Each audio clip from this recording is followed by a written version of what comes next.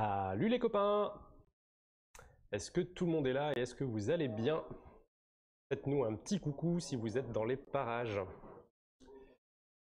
Alors merci à tous de nous rejoindre ce soir pour un, petit live Indomitus avec un petit peu de peinture. Ça fait euh, longtemps qu'on n'avait pas fait de tuto ensemble. La semaine dernière on n'avait pas pu faire de tuto. Et mardi euh, je, me suis fait piquer la place par, euh, par Axel. Donc du coup mon petit live de tuto s'est décalé à aujourd'hui. Est-ce que vous êtes nombreux à nous suivre et à peindre avec nous ce soir? Coucou tout le monde, alors coucou Jimmy, coucou Grumbringdal, coucou Jury, Nono, et non, Restream c'est pas un copain, c'est... Si c'est toi? Si, Restream c'est un copain, c'est pas le, message automatique? Si c'est le message automatique, c'est le message automatique. Donc c'est un copain quand même, mais c'est le message automatique. Faites-nous des coucous. Bonjour à tous. Bah alors moi ça va, ça va. Je vais peindre un petit judicar ce soir avec vous pour répondre à des questions qu'on pose souvent, comment on fait du cuir et comment on fait une armure noire? Donc c'est des choses qu'on a pu déjà voir un petit peu euh, en, survolant dans certains tutos, mais là on va le revoir de manière un peu plus poussée ensemble. Euh, petit point actu. Coucou Romain. Petit point actu. Alors, plein de choses. Petit 1, vos commandes. Vos commandes ne sont pas oubliées, elles sont toujours en cours de traitement. S'il y a de l'attente, on en est très fortement désolé. Sachez qu'on attend vos produits autant que vous, au moins autant que vous. Euh, il y a encore énormément de retard euh, dans les livraisons de la part de tous nos fournisseurs, que ce soit chez Games Workshop, chez euh, Valero, chez Asmodee, chez d'autres, on en passe et des meilleurs. On a encore pas mal de, délais d'attente sur, sur nos produits qui arrivent un petit peu de manière erratique et aléatoire. Euh, malgré tout, dès que les produits passent la porte, on essaye de les traiter le plus rapidement possible. la semaine dernière, on a eu un peu de retard parce qu'on a eu beaucoup, beaucoup de livraisons d'un coup, mais euh, on va essayer de rattraper un, peu ça et on vous expédie ça dès que, ça marche. Euh, si vous entendez du bruit, c'est tout simplement parce qu'on a des joueurs qui jouent juste derrière, donc comme d'habitude, hein, la boutique est ouverte et si vous souhaitez nous rejoindre pour venir jouer, n'hésitez pas à nous passer un petit coup de fil, réserver une table, venir nous compagnie. Euh, d'ailleurs, ce soir, on est en soirée jeu, donc euh, on est ouvert jusqu'à minuit, une heure. Après, euh, Bastien vous pousse dehors. pour venir jouer, découvrir un petit peu les nouveautés, tout ça, tout ça, tout ça. Il y a à manger pour ceux qu'on faim. Voilà, ça sont les potatoes d'ici d'ailleurs, ça commence à nous ouvrir l'appétit. Alors, et où est donc Orni Judicar? Tu as le droit, tu es papa, c'est une blague que je valide, je la trouve bien. Elle est où la pelle Bah Bastien, quand est-ce que tu m'imprimes des pelles? Et on a Lehman Russ qui nous demande comment ça va. bah écoute, ça va bien. Et euh, moi, cette V9, ce que j'en pense. Alors moi, comme vous le savez, je suis moins le joueur de l'équipe. C'est plutôt Axel qui joue et je pense qu'il vous a déjà fait quelques petites vidéos pour vous dire ce qu'il en pensait. Grossièrement, on n'en pense que du bien. C'est plutôt cool.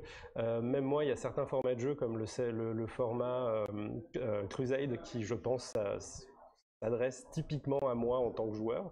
Donc je vais regarder ça de près. Les petits changements que j'ai vus me, plaisent bien. Euh, et après, en termes de figurines, bah écoute, euh, que dire de plus que ça déchire. Donc euh, voilà, ça me plaît plutôt bien. Donc on va essayer de peindre ça et c'est plutôt cool. Euh, rassurez-vous pour vos commandes de, V9, elles sont passées. On attend maintenant les livraisons de Games Workshop qui normalement devraient commencer à partir du début de la semaine prochaine, euh, histoire d'être sûr qu'on ait le stock en temps et en heure pour vous l'envoyer fin de semaine, histoire que vous l'ayez soit le samedi de la sortie, soit le début de la semaine d'après, en fonction de la livraison, tout ça, comment ça va se passer. Donc euh, normalement, ça c'est dans les tuyaux, c'est tout bon.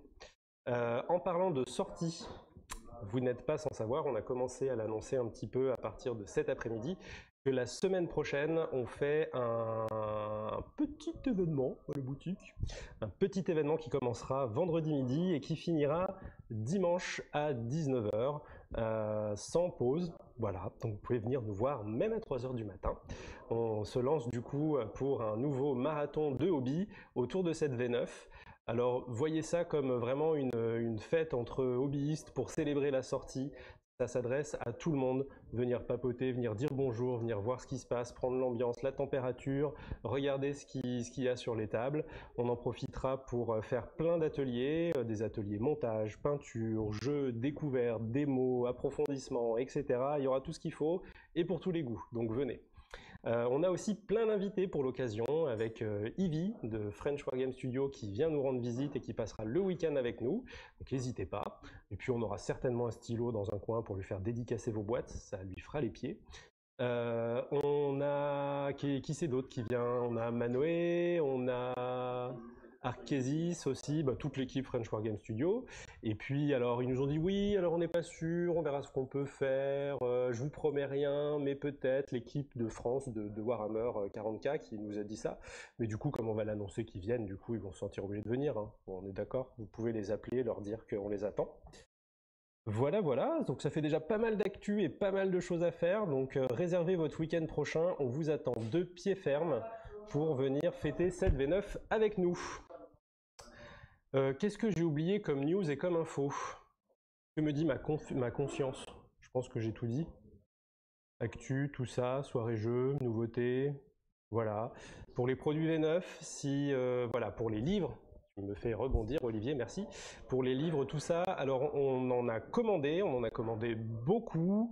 Euh, on a déjà des réservations qui dépassent nos premières commandes, donc il va falloir qu'on en recommande. C'est pas annoncé comme étant en rupture chez Games Workshop, donc pas d'inquiétude pour l'instant. En tout cas, on n'a pas de, de, de, voyants ou d'infos qui nous euh, feraient nous inquiéter. Donc normalement, on est censé avoir les, euh, les quantités que l'on demande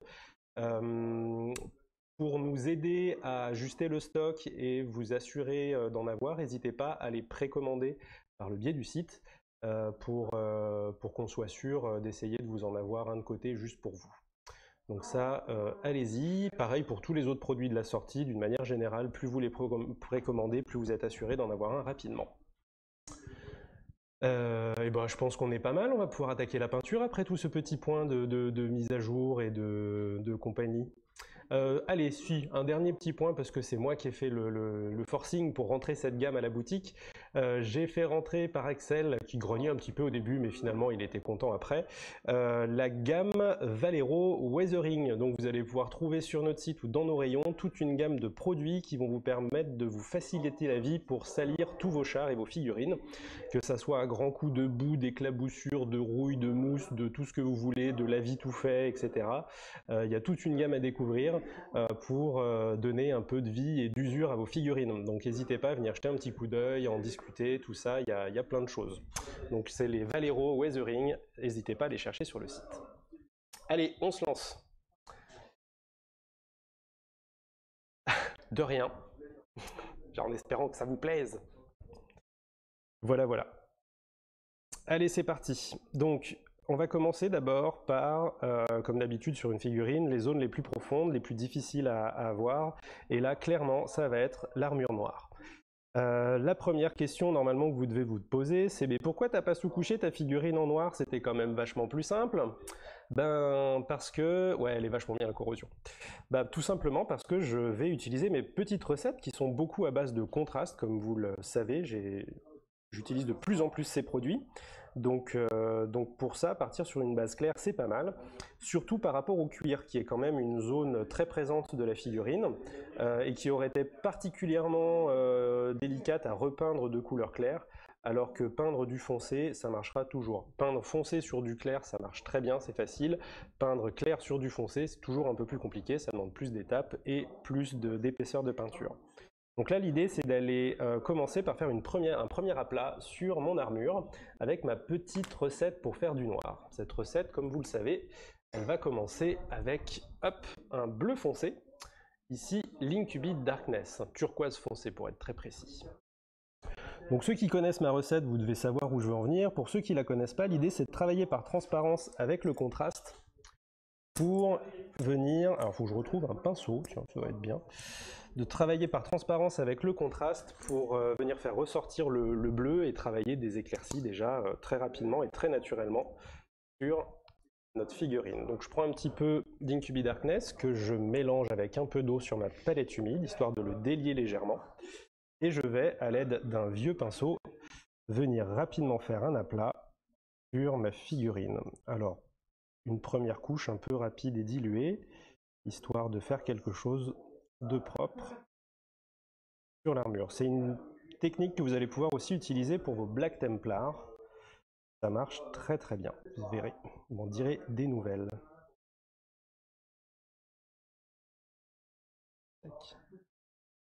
Alors honnêtement, j'ai hésité à prendre quelques pots de Valero pour euh, vous montrer euh, un petit peu ce que ça donnait sur ce, petit euh, Judicar, lui mettre un petit peu de, poussière et de, rouille dans certains coins. Mais je me suis ravisé parce que je pense qu'il y a déjà suffisamment de boulot comme ça ce soir sur une figurine. Peut-être qu'on fera une deuxième partie Weathering. Après, l'autre chose, l'autre question à se poser, c'est est-ce qu'on veut que toute notre boîte d'Indomitus soit soit euh, Je suis hors cadre, on me dit dans l'oreillette.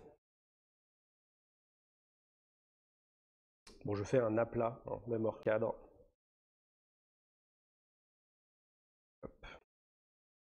Oui, je déborde. On s'en fout, vu qu'on va repasser des couleurs sur les autres zones. Là, le but, c'est d'aller vite. J'utilise une peinture assez déliée, de manière à ce qu'elle se pose quand même bien dans les creux, dans les recoins. Alors les peindre les boots sous la cape, c'est quelque chose que pour ceux qui veulent euh, faire une figurine plus propre, vous pouvez tout à fait faire avant de l'assembler. Mais euh, ça se fait quand même, euh, c'est pas dramatique.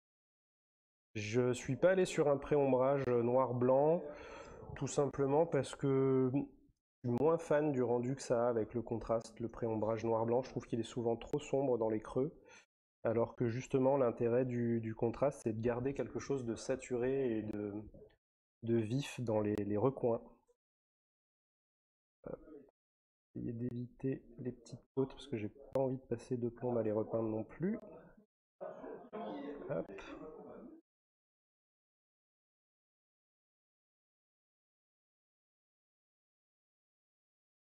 Donc là, je peins très dilué. Le but, c'est que ça aille se mettre tout seul et naturellement dans les recoins, dans les creux, et qu'on ne passe pas deux heures à faire un premier aplat. Comme il y a quand même un gros tour de la figurine à faire avec cette couleur, euh, il y aura largement le temps de laisser sécher une première couche sur les premières parties que j'aurai traitées, qui permettra de revenir passer rapidement une deuxième couche dessus et euh, commencer à donner un peu plus de corps à la teinte. De toute façon, comme on va travailler avec des contrastes par-dessus, la transparence jouera en notre faveur.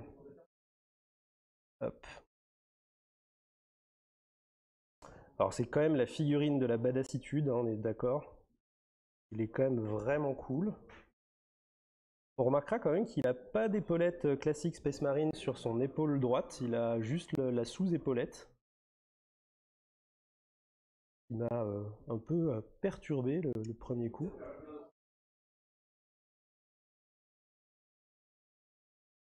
Mon crâne brille tellement, tu le lustres au monoeil. Eh ben non, je ne lustre pas mon crâne au monoeil. Alors préombrage bleu puis blanc, euh, Comme je te dis, euh, j'aime pas trop le pré-ombrage avec le contraste. C'est une histoire de goût, hein, ça marche, pour ceux qui le souhaitent, il n'y a, pas trop de soucis. Mais moi j'ai tendance à préférer gérer mes contrastes euh, et mes dégradés par la transparence plutôt que par le, pré-ombrage. Ah, je me suis fait avoir, j'ai attaqué à peindre un bout qui n'est pas de l'armure, mais qui est un bout de la manche.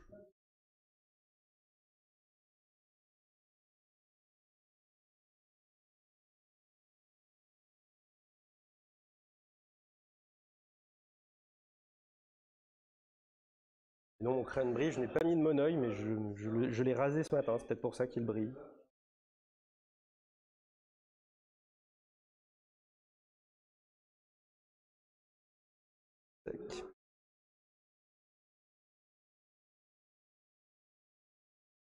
Quand vous entendez une, une phrase bizarre, c'est simplement un joueur Magic qui perd derrière.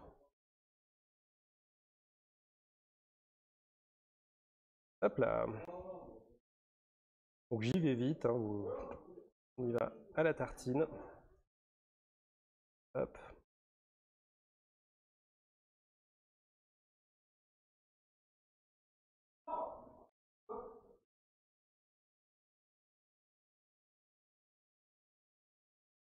Donc n'utilisez pas votre pinceau tout beau tout neuf qu'on vient de vous envoyer, hein, votre euh, Artisopus euh, flambant neuf pour faire ça. Prenez un, vieux pinceau qui a déjà euh, quelques heures de peinture, quelques kilomètres d'aplat dans les dents. le but c'est pas d'être précis, c'est de d'étaler la, peinture. prendre un beau pinceau tout beau tout neuf, ça fera que l'engorger d'acrylique et le, et le fatiguer avant l'heure. Donc euh, c'est l'intérêt de garder aussi vos vieux pinceaux quand il faut faire des aplats. Ça permet de leur faire euh, de les faire travailler encore un peu avant la retraite. Voilà, et donc du coup cette petite couche, euh, cette première petite couche rapide, même si elle est déjà bien propre, on, voit quand même hein, qu'il y a encore des taches qui traînent à droite à gauche. je regarde le retour pour avoir quelque chose de net. Voilà. vous voyez qu'il y a encore quelques taches par-ci par-là. Et donc ça, c'est simplement la deuxième couche qui va nous permettre de lisser un petit peu tout ça. Le style avant la sauvegarde. Ah, par rapport à l'épaulette du... Ouais, avec l'épaulette, il aurait pu se la raconter sur le champ de bataille en avance un toge que d'un côté. Et oui, oui, alors il est à noter quand même que d'un côté, il n'a pas d'épaulette, mais il met pas sa manche, alors que de l'autre côté, il a réussi à mettre sa manche. C'est-à-dire que concrètement, il a l'épaule du manteau entre son armure et l'épaulette. Voilà, je sais pas vous, mais moi je me demande quand même comment il fait pour euh, que l'épaulette tienne sur la manche du manteau en cuir. Elle est clairement, elle passe clairement dessous. Voilà. Les, les, les paris sont ouverts. Si vous avez une théorie sur comment une épaulette euh, qui doit bien peser, euh, d'après vous, combien ça pèse une épaulette de Space Marine? 15, 20 kilos Space Marine quand même. Comment ça fait pour tenir sur une manche en cuir? Bon, en même temps, hein. c'est pas comme si euh, ça devait être réaliste. Il a déjà 4 euh, poumons et 2 cœurs. Salut Pablo alors c'est parti, on attaque la deuxième couche. Donc pendant que la première couche continue de sécher sur les dernières zones que j'ai traitées, je fais jouer, euh, je, pense que je vais rendre full l'autofocus de l'appareil. La, fois de l'empereur, je vois que ça aussi. Donc je vais rendre full autofocus, disais. Donc de ce côté-là, c'est encore en train de sécher, mais les premières zones que j'ai traitées, elles ont déjà, déjà séché, ce qui va me permettre du coup immédiatement de passer une seconde couche et de tout de suite renforcer la couleur Incubi sur ces zones-là.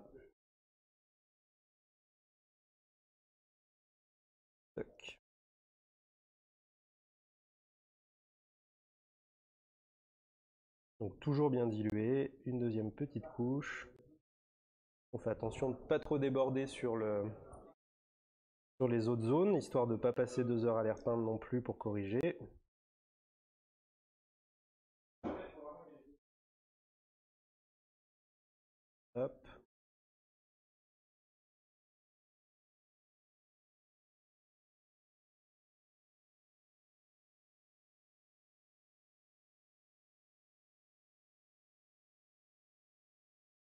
Donc attendez bien que ça soit sec avant de passer votre deuxième couche. Si vous passez une deuxième couche sur une peinture pas sèche, vous allez simplement, euh, en passant la deuxième, au passage enlever la première et créer un petit peu des aspérités dans la peinture en, enlevant la goutte qui n'est pas encore sèche. Et c'est ce qui donne au fur et à mesure de vos passages un rendu un peu sec et granuleux à votre peinture. Donc bien attendre que chaque couche soit sèche avant d'en passer une deuxième.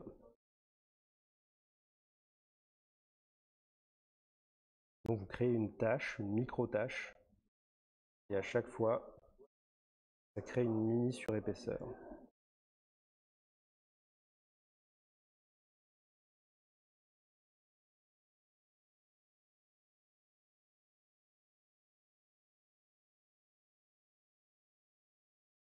Um.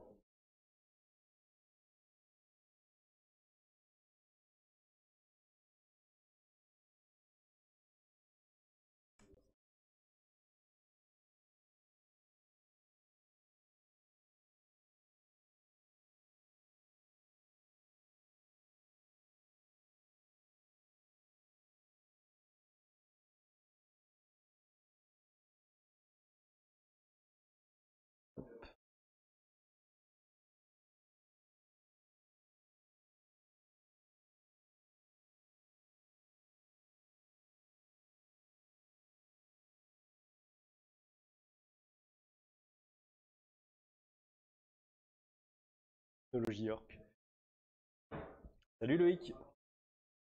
n'hésitez pas si vous avez des questions, c'est le moment aussi d'y répondre.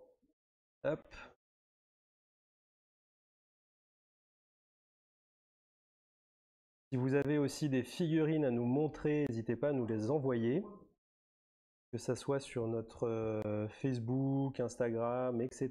Partagez avec nous, ça nous fait plaisir de voir vos œuvres et vos avancées en peinture. Pour ceux qui nous regardent, qui auraient envie d'une meilleure qualité, pour voir mon crâne encore plus briller, euh, d'un meilleur délai de, réponse aussi, euh, vous pouvez nous rejoindre sur Twitch et YouTube en plus de Facebook. Donc c'est les trois euh, plateformes sur lesquelles on diffuse. Et même si Facebook est plus facile d'accès, plus populaire, on a quand même une meilleure qualité et moins de décalage sur Twitch et YouTube. Donc n'hésitez pas à faire la, la, translation, la transition si vous voulez mieux nous voir. Pour ce qui est des replays aussi, vous pouvez regarder tous nos anciens tutos sur notre chaîne YouTube et du coup revoir euh, d'autres conseils ou d'autres méthodes de peinture.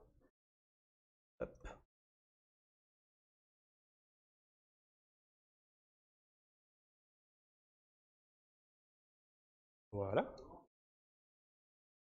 On a une armure en Incubi Darkness.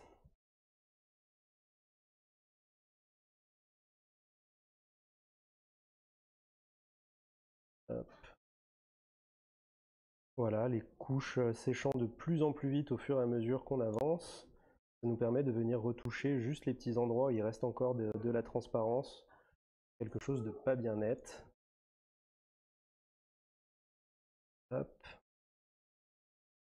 Et voilà.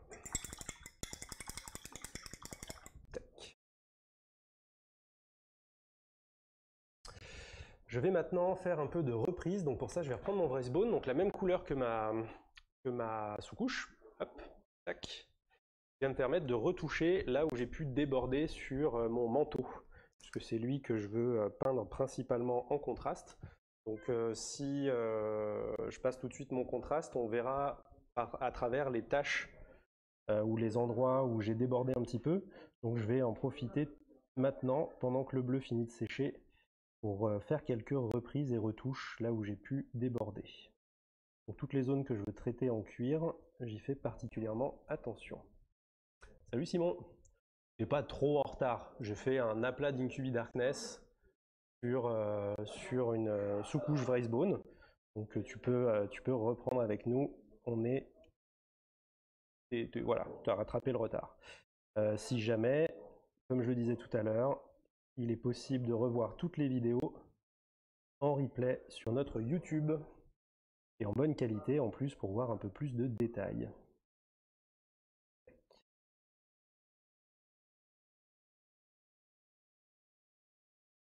Donc là, toutes les zones que je veux traiter euh, juste en repassant du, du contraste sur euh, ma, sur ma base de Bone, du coup je les retouche pour qu'elles soient vraiment le plus propre possible et qu'on n'ait plus de taches d'incubi qui viennent dessus un petit tour de la figurine pour qu'elle soit bien propre. Et c'est le moment aussi de se rendre compte de zones que l'on aurait pu oublier de traiter.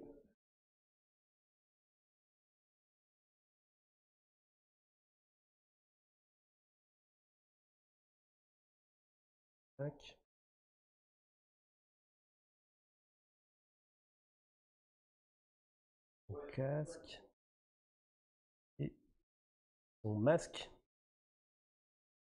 donc pour ceux qui souhaitent nous rejoindre aussi le week-end prochain, on rappelle que du coup le port du masque sera obligatoire dans la boutique. Euh, les distances de sécurité, le gel hydroalcoolique à l'entrée, histoire qu'on passe tous un bon moment en toute sécurité et qu'on puisse en profiter.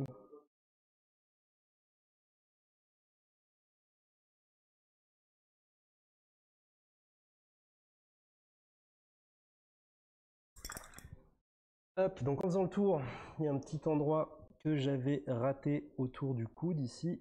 Donc je viens le repasser en incubi. Aussi en faisant attention de ne pas déborder, de ne pas passer la soirée à faire des allers-retours entre deux couleurs.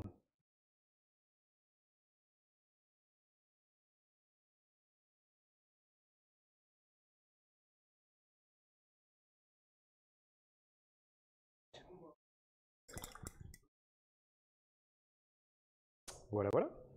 Le temps que ça finisse de sécher, je vais pouvoir, enfin le temps que l'Incubi finisse de, sécher, je vais pouvoir commencer à passer mes premières couches de contraste sur le manteau en sachant que le Bone, comme il est traité sur des zones beaucoup plus petites, à part là où il va mettre un peu de temps à sécher, ailleurs ça devrait aller, il devrait sécher plus rapidement.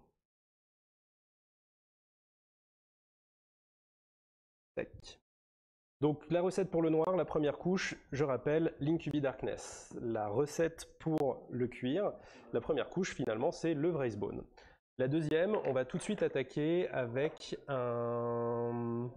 Je vais attaquer? Tiens, un petit Snackbit Laser. On se coupe bien. Et sur ma palette, comme d'habitude, je vais venir faire un petit mélange et ne pas appliquer le contraste d'un coup d'un seul. Donc vous commencez à connaître ma recette pour ceux qui nous suivent régulièrement. Je prends toujours un peu de contraste médium, un peu de contraste tout court, et je fais un mélange à peu près à 50-50.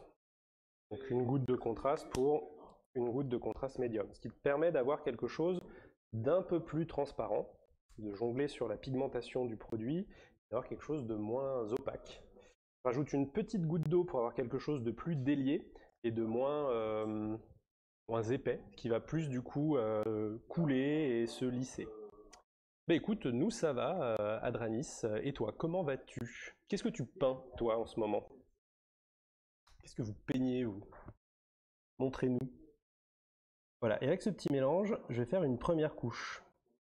vous voyez que c'est beaucoup moins intense que de la Graxer Shade posée en une seule couche, mais ça va me permettre de gérer un petit peu mes transparences et de mener mes teintes où je le souhaite.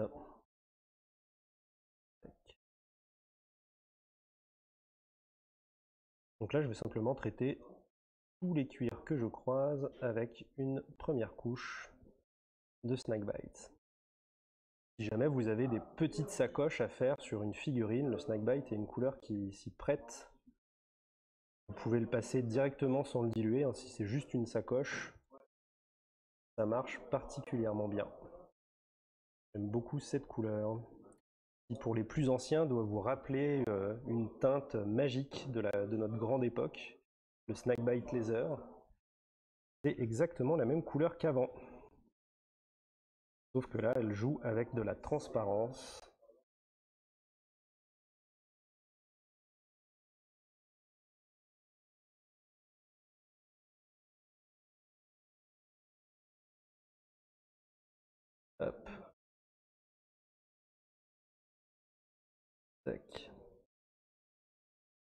Je fais tout le tour.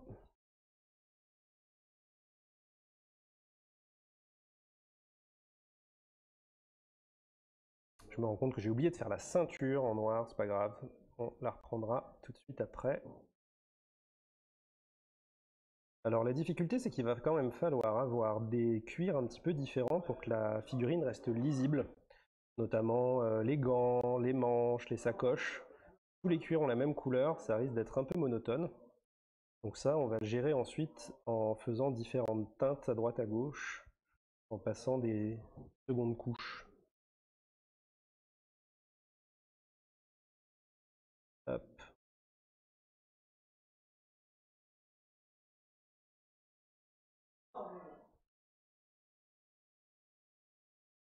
Voilà, donc sur cette première couche, on essaye d'éviter un petit peu les piscines. En faire tout de suite, pas faire trop d'accumulation. Et d'avoir un rendu un peu homogène de partout, sans trop de taches ni de trous. Voilà. J'ai oublié le masque.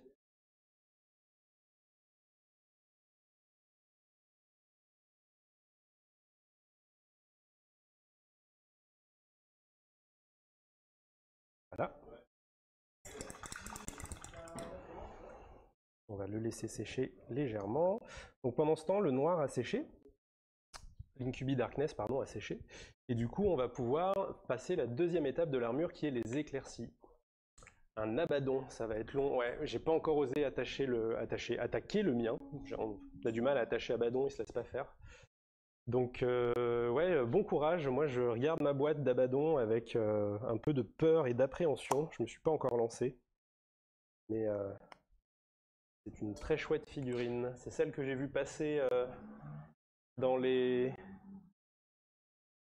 Celle que j'ai vue passer dans les, dans les petits messages sous la publication du planning de la semaine. En Abaddon, ouais, il me semble que c'est ça, hein, Pablo. Pas de bêtises. Oui, avec l'ultramarine écrasé dessous. J'ai vu la base. Salut Julien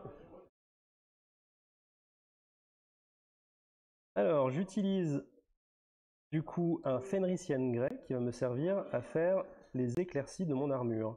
Alors là, j'essaye d'être le plus précis possible et de venir faire simplement un petit travail d'arête, d'éclaircie euh, classique sur la figurine. Éclaircie qui sera du coup atténuée ensuite par le petit contraste qu'on passera dessus. Donc pointe de pinceau, Fenrisian Grey légèrement dilué, et on peint les différentes arêtes de la figurine, les différentes éclaircies. Si vous avez envie de forcer quelques éclats de lumière aussi, c'est le moment de le faire.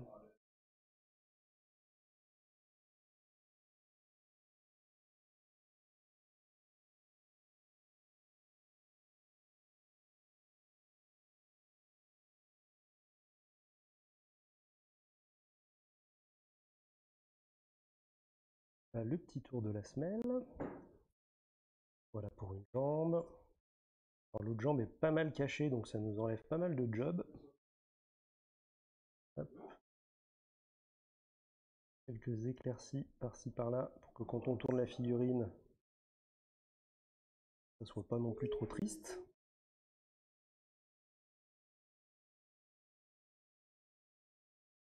Une petite épaulette qui traîne. Alors comme le contraste va venir atténuer un petit peu, n'hésitez pas à déborder un peu avec votre première passe d'éclaircie, de façon à ce que votre contraste vienne créer les dégradés tout seul après en fondant les deux teintes. Euh, voilà, vous n'êtes pas obligé d'être euh, ultra euh, précis et le plus fin possible. On n'est pas juste sur des petits éclats de peinture sur les arêtes. Ça c'est quelque chose qui viendra encore dans un, un tiers temps.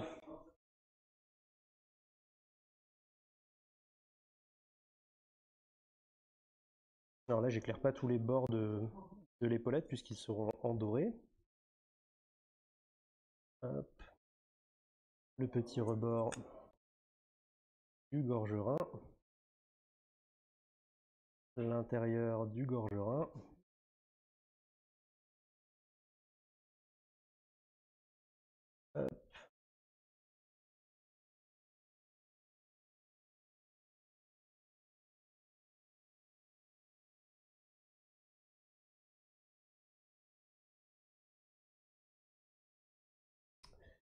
Les petits rivets.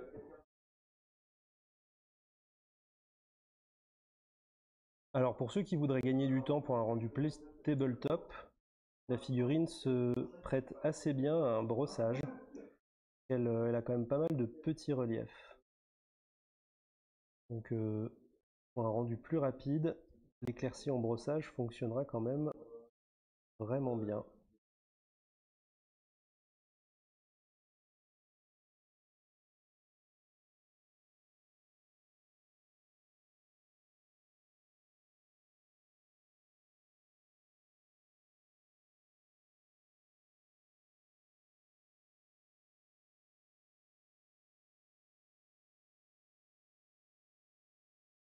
Ah, je suis hors champ, personne ne me dit rien. Les tutos pour le trône de fer, ben ça va pas être tout de suite, mon pauvre. Tant que les, livraisons de, nouveautés, de produits n'auront pas euh, remonté un peu le jeu. Pour l'instant, le trône de fer, on va attendre un petit peu que le, le fabricant et le fournisseur euh, s'y un peu.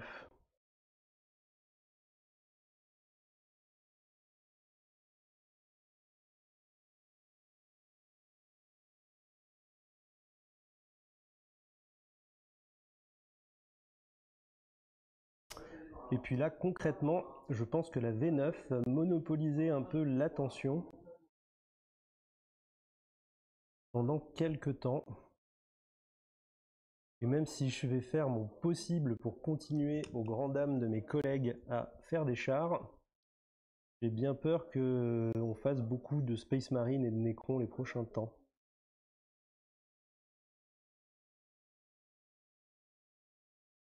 Alors mon passage préféré sur un Space Marine, c'est peindre le backpack.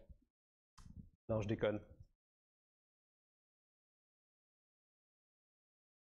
Bien que les nouveaux backpacks Primaris aient juste ce qu'il faut de volume supplémentaire pour être éclairci relativement rapidement, c'est quand même un passage un peu relou sur la figurine. Alors vous voyez certainement, si vous voyez euh, sur l'écran, que j'ai tendance à déborder un petit peu. Ça c'est pour euh, maintenir ma, ma réputation de peintre à la truelle, mais aussi parce que derrière on va avoir quelques étapes de retouche qui vont nous permettre de venir affiner les endroits où on aurait un peu débordé. Donc pas trop d'inquiétude à ce niveau-là. Vous pouvez retoucher dans un second temps. Donc euh, allez-y. Le but, c'est de ne pas y passer la nuit dessus. Bien que plus vous y passiez de temps, meilleur sera votre rendu, normalement.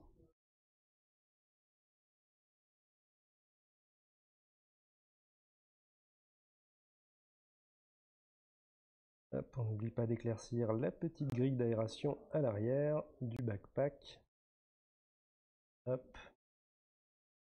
Et les différentes arêtes qui prennent dessus. Et ça, c'est ce truc que je déteste sur le backpack, c'est cette arête là. Voilà. Donc je crois qu'on a fait le tour et qu'on n'a rien oublié. Et c'est le moment du coup de repasser sur votre Incubi et sur les endroits où vous auriez eu un peu la main lourde. Voilà, par exemple, si on fait un gros plan sur la jambe ici, vous voyez que mon éclairci ici, il est un peu violent. Hein, D'accord Donc là, vous pouvez très bien reprendre votre Incubi pour venir le rabattre un petit peu et l'affiner. J'essaie de vous faire une mise au point, voilà. Tac.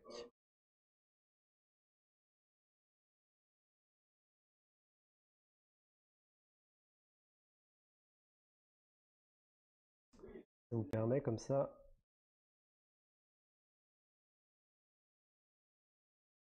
de revenir un peu sur vos éclaircies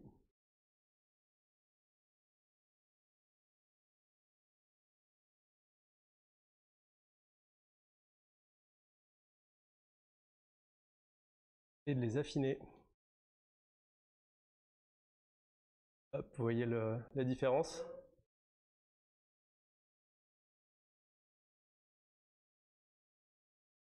Voilà.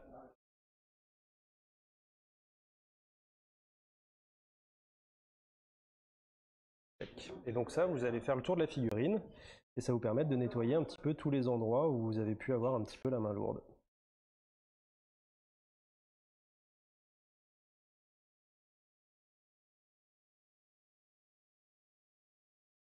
les endroits où votre éclaircie a pu déborder un petit peu.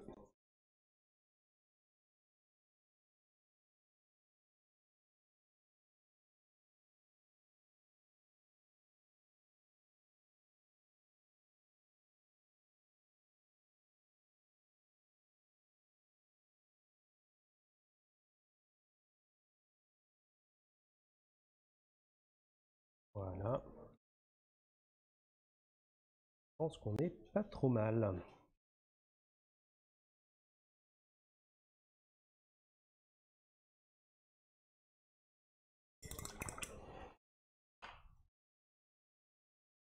Voilà, ça vous parle un peu déjà? Donc pendant ce temps, normalement, mon contraste marron a fini de sécher de partout. Et on va pouvoir commencer à passer d'autres couches. Avant de passer des couches, je vais commencer à m'amuser à le texturer. Donc ça, c'est un travail qu'on va faire entre chaque couche et c'est ce qui va donner l'aspect vieux cuir avec les différentes usures, les différentes euh, traces, coupures, euh, micro-imperfections. Donc euh, pour ça, à l'aide de votre pinceau, sur les premières étapes, on va continuer au pinceau, vous allez reprendre votre Bone un peu moins dilué que la fois précédente. Et vous allez un petit peu arbitrairement et aléatoirement tracer des petits traits à droite à gauche, principalement sur les éclaircies. Donc ça, c'est quelque chose qu'on va venir faire et refaire et re-refaire. Donc là, on n'est que sur la première étape. Donc visez que les zones euh, un petit peu en hauteur, hein, pas besoin de passer trois plombes dans les ombres. Hop, des petits coups de pinceau à droite à gauche sur votre figurine. Donc ça c'est ce qui va nous amener la texture du cuir.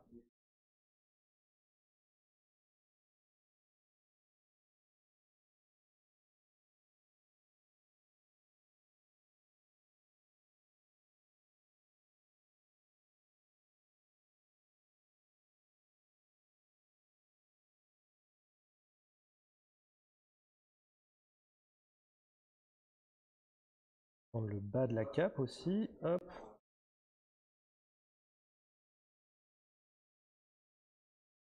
de relief à tout ça.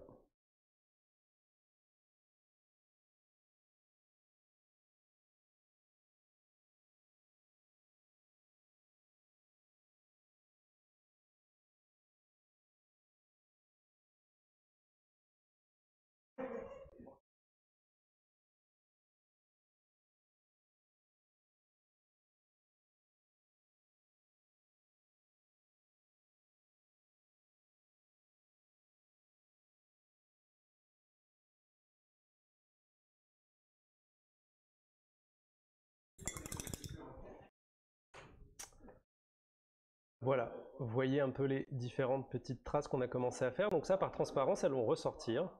Donc c'est le moment un petit peu d'en positionner à droite à gauche.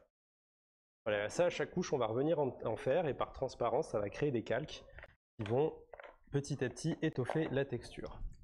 Ma deuxième couche, ça va être du Fire Slayer que je vais passer sur certains cuirs, mais pas tous. Je vais l'utiliser que sur le manteau. Donc pareil, je viens sur ma palette, un petit peu de Fire Slayer, autant de contraste, Salut Michael Donc 50-50 entre les deux. Une petite goutte d'eau. Je vais remettre un petit peu de Fire Slayer parce que j'ai eu la main lourde sur le contraste. Hop. Bon, est-ce que vous êtes enthousiaste, vous, pour cette sortie de V9 Est-ce que vous attendez euh, avec impatience votre boîte? Et est-ce que vous allez surtout venir nous voir pour qu'on fasse un peu la fête ensemble? Voilà, et là je vais passer une première couche de Slayer sur mon manteau.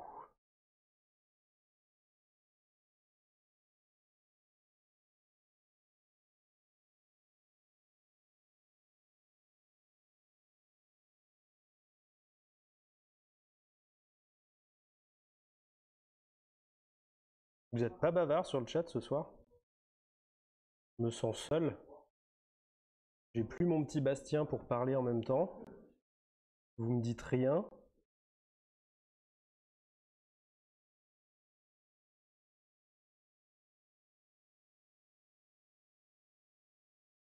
C'est triste.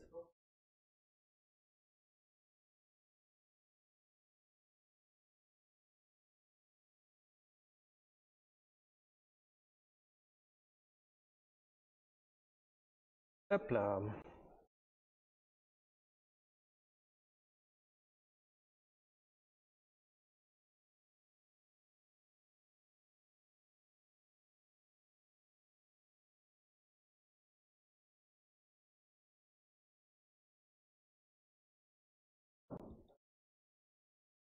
Vous admirez le travail. Bonsoir, euh, prof 80p. prof 8. Ah, on me dit dans l'oreillette que je suis vieux.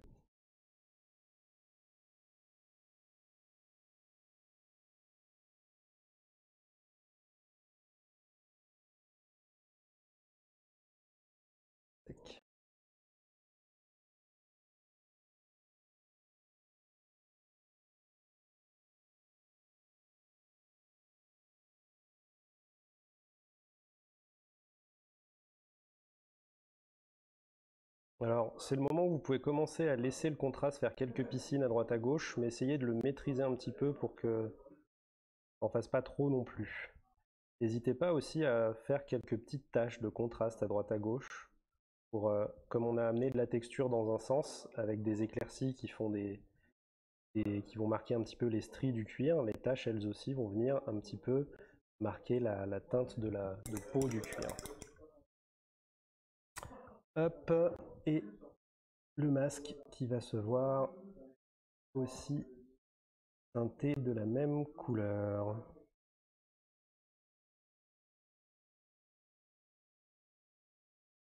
Pour les gants, je vais faire la même technique, mais je vais commencer à changer de teinte. ouais, c'est dur hein, de parler en même temps qu'on peint. Hein.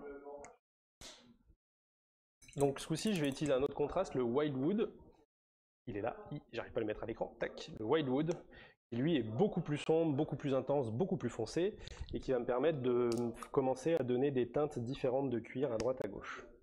Donc pareil, je le dilue un petit peu, je mets un petit peu d'eau, tout ça, tout ça, vous commencez à comprendre le principe de la recette. Et celui-ci, je viens l'appliquer uniquement sur les gants.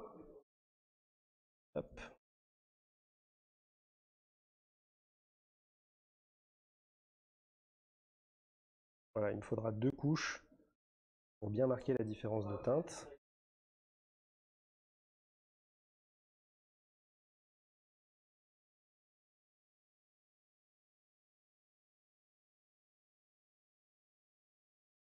Hop. Et cette teinte va me servir aussi pour le holster du bolter. Pas de boîte pour moi. Ah bah oui. Ah oui. On, connaît cette... Euh, on peut te l'emballer si tu veux, comme si quelqu'un te l'avait offert. Tu peux te l'offrir toi-même pour la, la, fête des pères ou...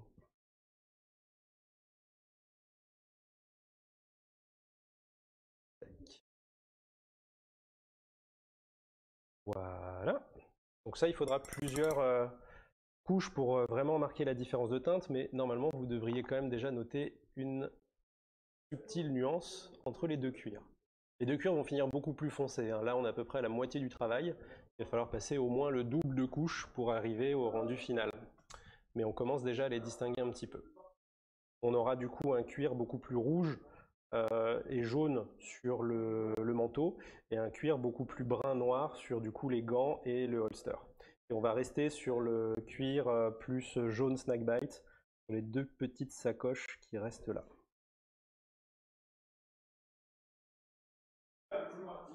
Voilà, tac. Maintenant que c'est fait, euh, on va pouvoir passer sur l'armure avec, pas la dernière mais pas loin, des étapes le pot est coincé dans ma boîte avec le Black Templar qui va du coup nous permettre de finir de teinter en noir cette armure et qui par transparence va révéler le bleu sur les éclaircies et nous faire un dégradé pas trop moche si je me plante pas. Donc là encore, vous mettez votre contraste noir sur votre peau, vous remettez un petit peu de contraste médium pour le rendre plus transparent, 50-50, une petite goutte d'eau pour le délier un petit peu, histoire qu'il soit moins visqueux et qu'il laisse moins de traces. Et vous attaquez à passer une couche homogène sur votre figurine.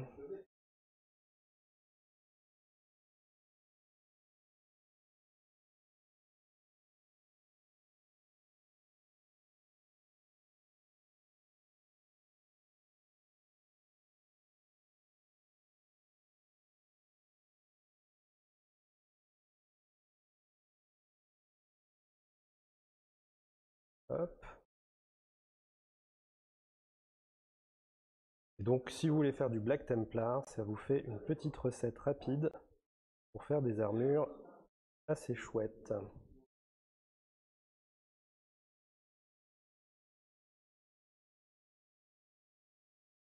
Avec une teinte un peu plus profonde que juste un aplat noir.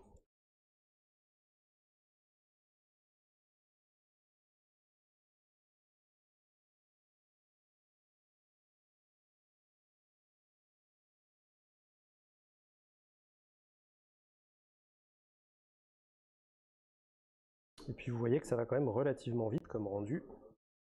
On a quand même quelque chose d'assez propre rapidement. Le contraste permettant d'effacer un petit peu les éventuelles traces qu'on a pu faire sur les étapes d'avant. Alors la base pour le cuir, alors vous là, plein de messages. Euh, du coup, pour la fête du châle 15 août, ça peut marcher. Ça peut marcher. Ouais, on comprend pour le boulot. Je, comprends, je, compatis.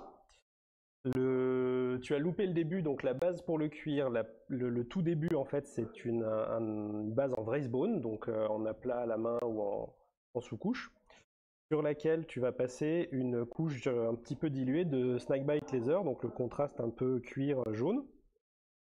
Donc euh, ma petite recette pour les contrastes, c'est de systématiquement les diluer. Donc 50-50 contraste médium et contraste. Et ensuite euh, de passer autant de couches que tu le souhaites pour avoir l'intensité euh, voulue. Mais ça permet d'avoir un rendu beaucoup plus propre que si tu passais le contraste d'un seul coup. du coup, une fois que tu as fait ta, première couche et qu'elle est sèche, tu vas pouvoir commencer à texturer ton cuir en y ajoutant des petites marques. Donc tu reviens avec du bone et tu viens euh, faire quelques traces à droite à gauche, quelques euh, impacts, euh, soit qui gère, pour donner un peu la texture abîmée du, cuir.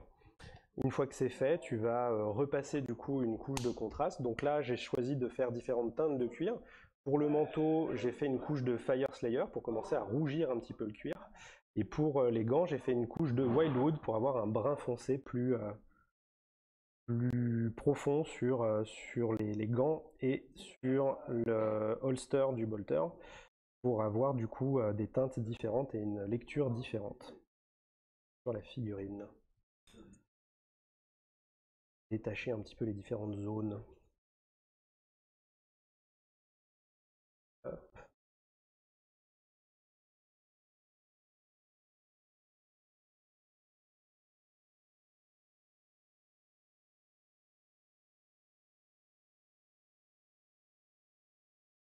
Voilà. Les aciers aussi, tout ce qui est métaux, c'est une couleur sur laquelle je vais... Enfin, les, aciers métalliques. Ouais, je sais plus parler. Grosso modo, pas l'or, mais quand vous faites un acier gris, un métal gris, euh, faites d'abord une petite couche de contraste médium dessus. Ça vous permet d'avoir une première euh, passe d'ombre. Alors là, par contre, vous n'avez pas forcément besoin de le diluer, vu que le but, c'est que ça soit noir pour passer l'acier dessus. Vous pouvez y aller un petit peu plus fort. Donc l'épée. Hop, un petit coup de contraste noir. Donc recette pour l'acier qui commence par une couche de contraste noir. Euh, je vais faire aussi la poignée du bolter, que j'y suis, avec un petit coup de contraste. Ça, je vais pas le faire comme ça parce que je vais le faire en doré. La poignée de l'épée sera aussi en doré. Le masque sera couleur crâne. Voilà, commence à prendre des couleurs ce petit judicator. Je vais en profiter tout de suite pour venir reprendre un détail qui est la ceinture que j'ai oublié de faire en noir. Donc on va la faire de ce pas. Je reprends ma recette du noir avec ma base en incubi.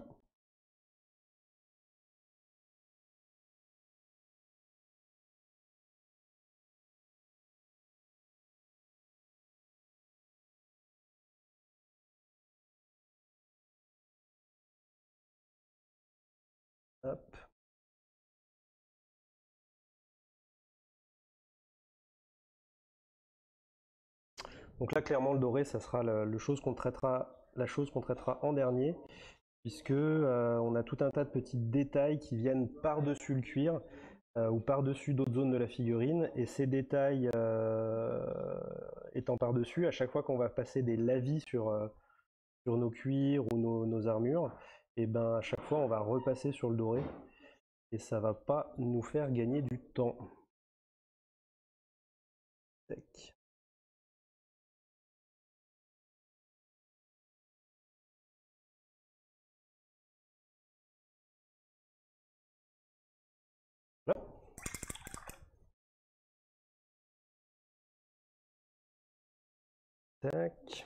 Alors, tant qu'on y est, hop, on va faire 2-3 détails. On va sortir le Voluptuous Pink qui va nous servir à peindre la poignée de l'arme, le cuir de la poignée de l'arme. Hop, on peut y aller tout de suite, même si ça vient en bordure du cuir du gant, c'est pas très grave. On va passer une première couche et on passera une deuxième couche après. S'il y a une couleur qui déborde sur l'autre, c'est pas grave, ça s'atténuera un petit peu avec les différentes couches.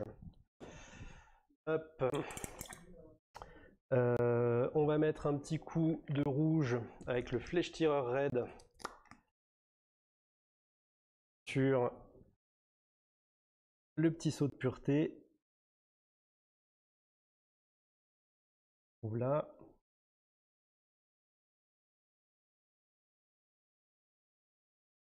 Donc sur des petits détails comme ça, juste un coup de contraste, ça suffit. Hein. Vous n'avez pas grand chose. Ah non, y en a un autre de l'autre côté.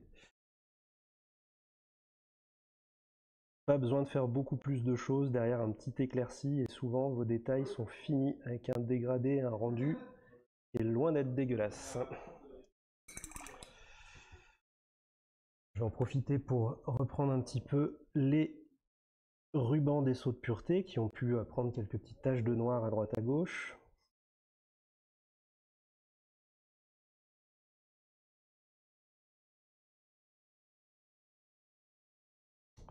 Voilà. On va attendre que ça sèche, on passera un petit coup de couleur euh, Skull qui me permettra du coup d'avoir euh, ma couleur pour euh, le crâne et tous les parchemins. pendant ce temps-là, mon cuir a pu sécher et je vais du coup pouvoir refaire encore une couche. Alors comme on l'a vu tout à l'heure, on va pouvoir reprendre notre, notre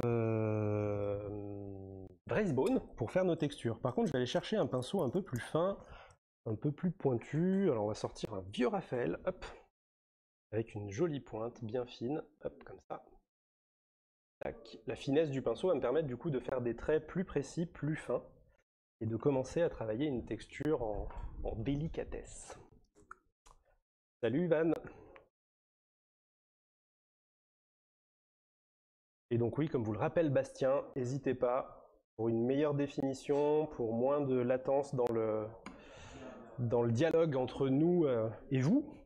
N'hésitez pas à nous rejoindre sur YouTube ou sur Twitch.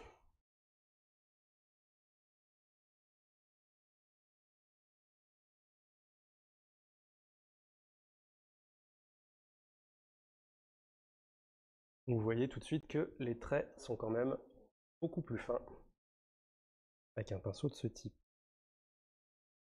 Et on va venir du coup créer un petit peu des textures droite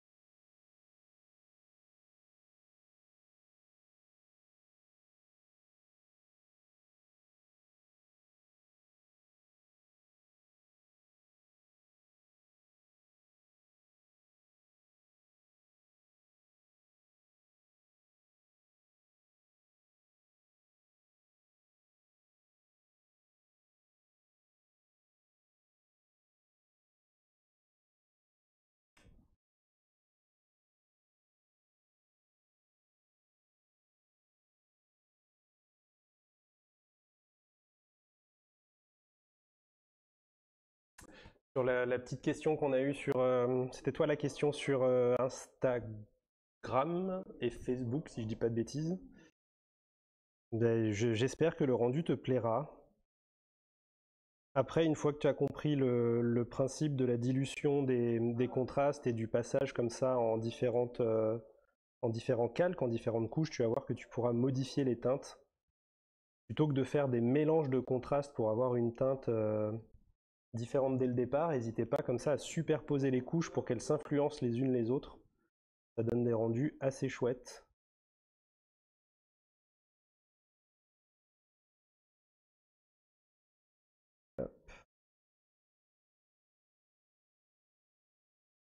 Donc en texture, on a du coup le petit coup de pinceau comme ça qui marche bien. Vous pouvez aussi tamponner une, un vieux pinceau brosse.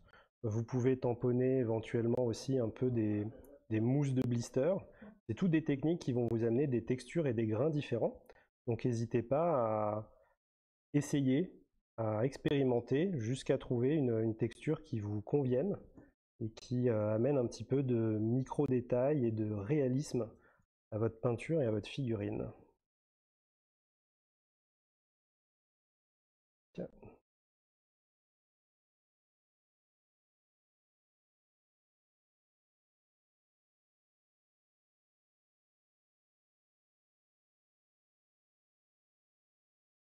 Et un cuir un peu usé sur ce genre de personnage, ça fait quand même tout de suite plus badass.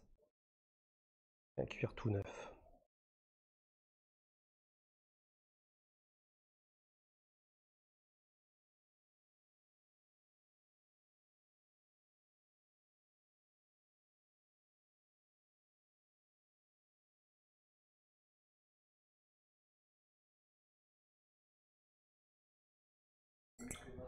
Alors, est-ce que vous voyez un petit peu la différence sur le cuir avec la texture qui commence à se,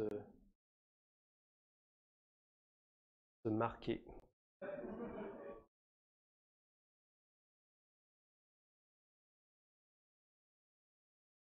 Ouais, hein. pareil. Bah, en fait, vous avez plus de possibilités avec les contrastes vu que vous partez d'une couleur qui est plus saturée à la base.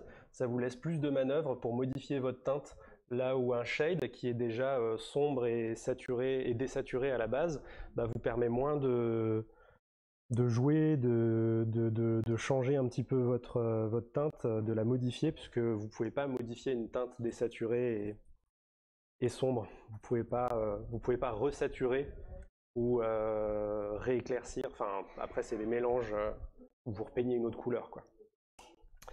Pour vous prouver qu'on peut faire plein de textures différentes, je vais partir avec un petit peu de Rhinoxide, avec mon vieux pinceau favori, donc un pinceau à texture, donc ça vous allez piocher dans la vieille trousse que vous aviez gardée de côté après l'école en vous disant que ça vous servait plus jamais, vous l'avez retrouvé au fond d'un tiroir et il vous reste un vieux pinceau pourri comme ça, bah c'est le moment de ne pas le jeter, de le conserver, parce qu'il va vous servir à faire des textures.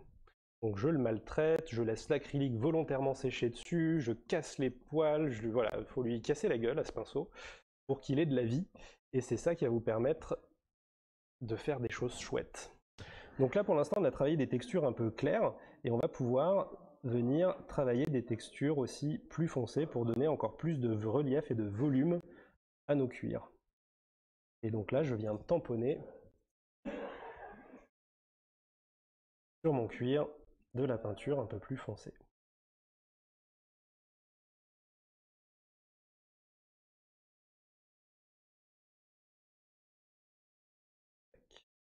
C'est des techniques qui s'apparentent un petit peu à celles du Battle Damage que vous pouvez retrouver sur des véhicules, mais euh, appliquées avec euh, beaucoup plus de jus et de transparence par-dessus, pour plus de, de douceur et avoir un rendu plus organique et moins mécanique au final.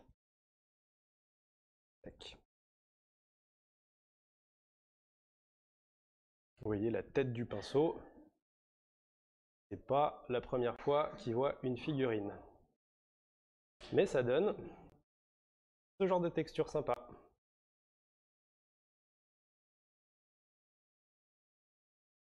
Donc c'est là qu'on rentre dans la, peinture de texture et plus simplement dans le coloriage. On ne se contente plus de remplir la case, mais on lui amène une, euh, une vie avec une matière. On reprend nos contrastes, donc on va passer à la deuxième couche de Fire Slayer diluée sur notre, euh, manteau. Donc pareil, hein, toujours mon Fire Slayer, toujours mon contraste médium, 50-50, une petite goutte d'eau pour délier. Hop. Et on repasse une couche sur ce cuir.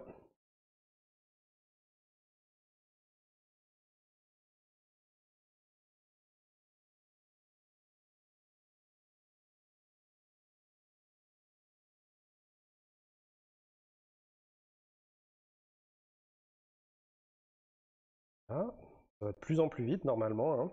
Pas besoin de passer des couches trop épaisses qui mettraient trop longtemps à sécher. Le but c'est juste de poser comme un glacis en fait, c'est une technique qui se rapproche assez du glacis.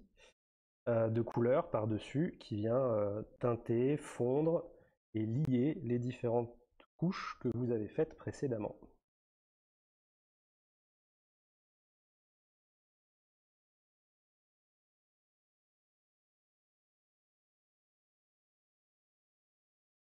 Pour tous ceux qui pensent aussi toche de Dark Angel, oui, effectivement, ça marche aussi. Même si je n'aime pas les Dark Angel. On fait pareil avec le Wildwood. Sur nos zones traitées en Wildwood. Et on voit que plus, euh, plus on passe de couches, plus l'écart entre les deux teintes s'intensifie.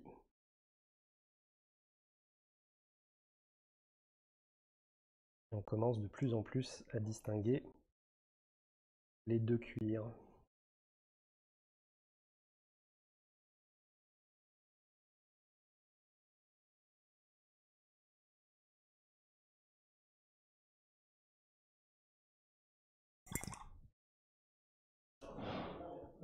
Je vais en profiter pour passer ma deuxième couche de Voluptuous Pink sur la poignée de mon arme.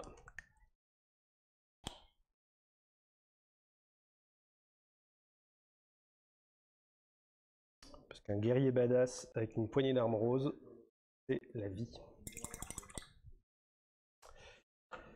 Pendant que ça sèche, je vais venir du coup continuer de rectifier ma petite ceinture que j'avais oubliée. Je vais passer du coup l'étape du Fenrisian Grey dessus pour éclaircir un petit peu les rebords de ma ceinture. ça va me permettre aussi d'en profiter pour chasser un peu le contraste marron qui a pu se glisser la ceinture à l'étape du cuir. Voilà. Et on passera un petit coup de contraste noir dessus pour la finir. Je passe pas le contraste noir tout de suite parce que vu qu'à juste à côté j'ai du contraste marron qui est en train de sécher, je passe le contraste noir tout de suite, il va par capillarité tout de suite aller se mélanger avec le, le marron et me faire des traces non désirées. Donc on va pas l'embêter tout de suite.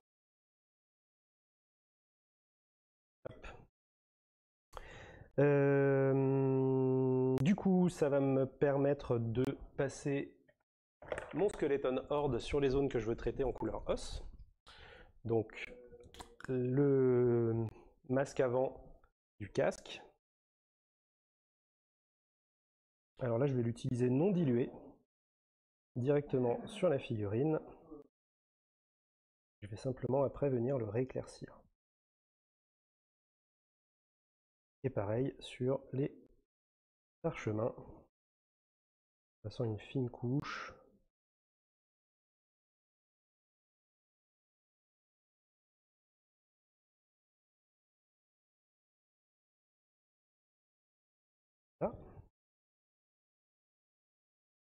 On attend que ça sèche. Et ben on va pouvoir revenir avec notre, euh, sur notre armure. Euh, du coup, vous voyez que c'est sec et que le noir commence à donner un rendu assez sympa, déjà éclairci. Avec les arêtes qui ressortent quand même plutôt pas mal. Regarde la jambe, c'est quand même sympa. On va appuyer un peu ça en venant refaire quelques arêtes de manière un peu plus précise que la première fois, puisque ce coup-ci on ne repassera pas de noir, on va se contenter de maintenant faire des éclaircies dessus. Donc là on va vraiment travailler sur l'éclat de la lumière. Donc je reprends mon pinceau Raphaël tout beau tout fin, et je viens créer mes petits éclats de lumière là où j'en ai besoin.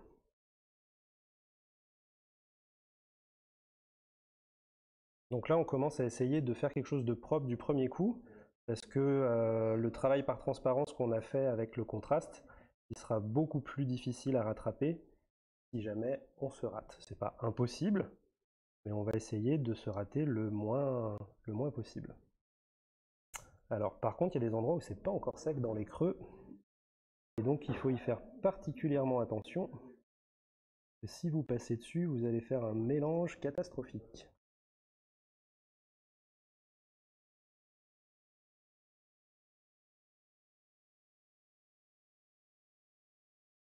C'est le moment de venir mettre aussi une petite pointe de Fenrisian Grey, précisément sur chaque rivet pour les éclaircir.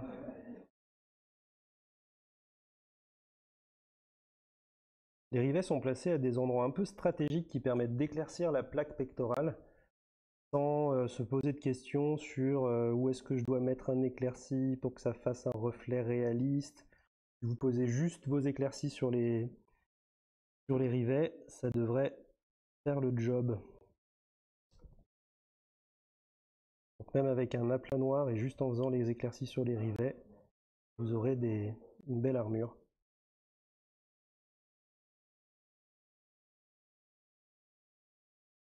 Tac. Les côtes.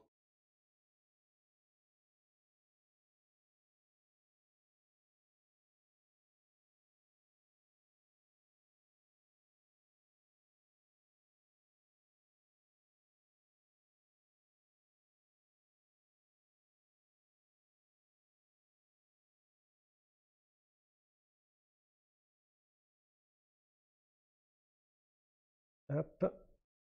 La jambière. Alors pas full contact, euh, full contact, c'est du full contact. Pas euh, full contraste, full. Euh, c'est ma petite technique maison, c'est-à-dire que je vais mélanger en fait un jeu d'aplat, de contraste, d'éclaircie, il y a un petit peu de tout. le contraste me servant un petit peu à la fois de lavis, de glacis, il va me définir un peu mes teintes, me satiner les zones. c'est voilà, c'est ma petite méthode maison. Euh, donc souvent le contraste, je l'utilise un peu comme en la vie sur un aplat d'une couleur.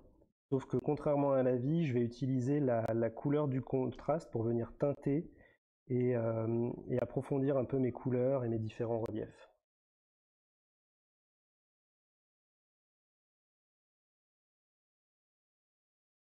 Donc il y a du contraste de partout, mais c'est pas du 100% contraste.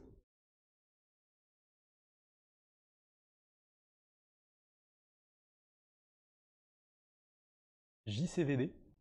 Ah oui, le full contact, c'est ça Ouais. J'ai réutilisé cette technique pour peindre mes Black Templars, l'armure claque. Ah oui, la robe blanche. Bah, ça sera le sujet d'un prochain tuto, puisque on me demande souvent euh, comment faire du blanc. Et euh, là encore, le contraste nous apporte de belles solutions. Donc j'escomptais vous montrer ce qu'on peut faire avec le contraste blanc. Donc euh, on verra ça lors d'une prochaine,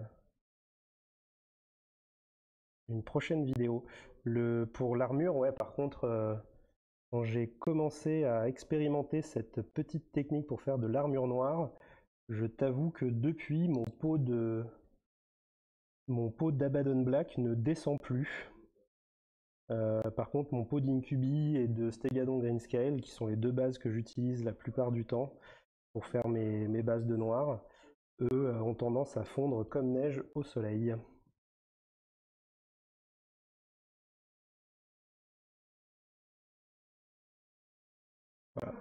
Donc mes petits éclats. Je passe un peu plus de temps sur la botte, comme elle est bien en avance, quelque chose qu'on va voir euh, assez vite les petites arêtes de la plaque d'armure qui dépassent ici.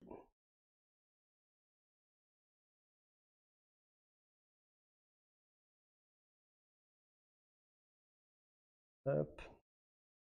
Le petit éclairci de l'épaulette qui va bien.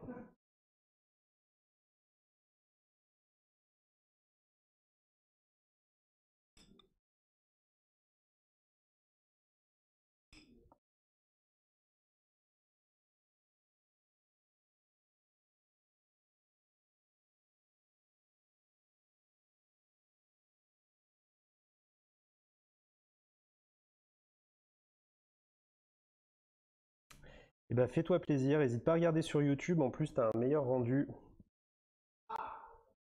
Ça te permettra de voir un peu plus les détails.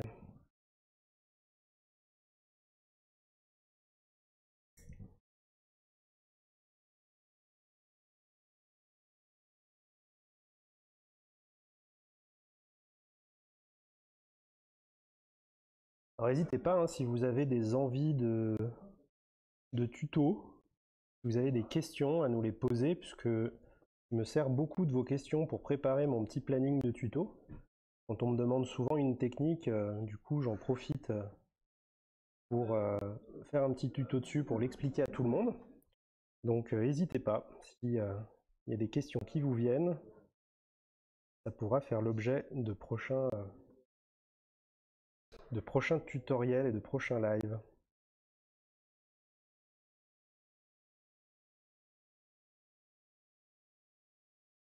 Donc là, vous voyez que je repasse pas du Space Wolf Grey de partout, mais à des endroits, des endroits un peu stratégiques, à des points de lumière qui viennent faire un peu l'éclat et la brillance de l'armure. Donc un peu les angles des plaques, les arêtes les plus saillantes,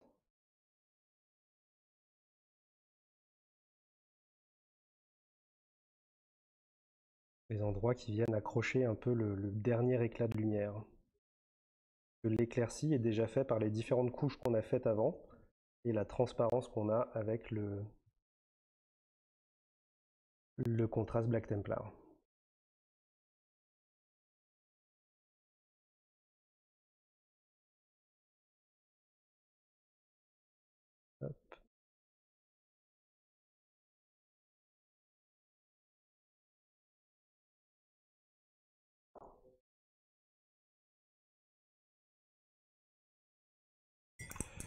Voilà pour l'armure. Il va me rester du coup la ceinture, donc je vais la reprendre tout de suite parce que ça a séché. Je vais donc passer une petite couche de Black Templar dessus pour la noircir.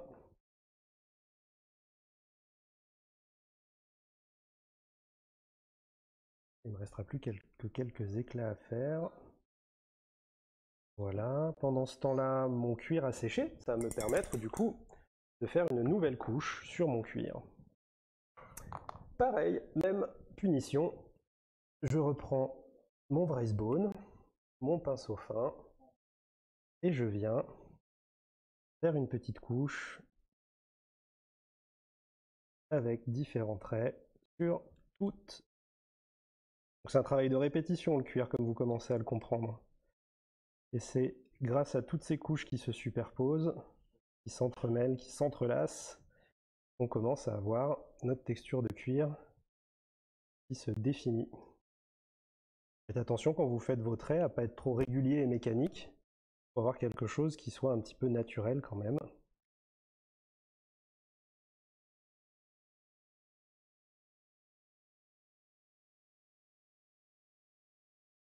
Un peu chaotique.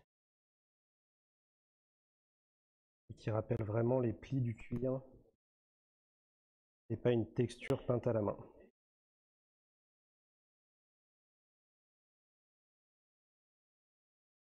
La vie, les craquelures de cette peau qui a vécu plusieurs millénaires de champs de bataille.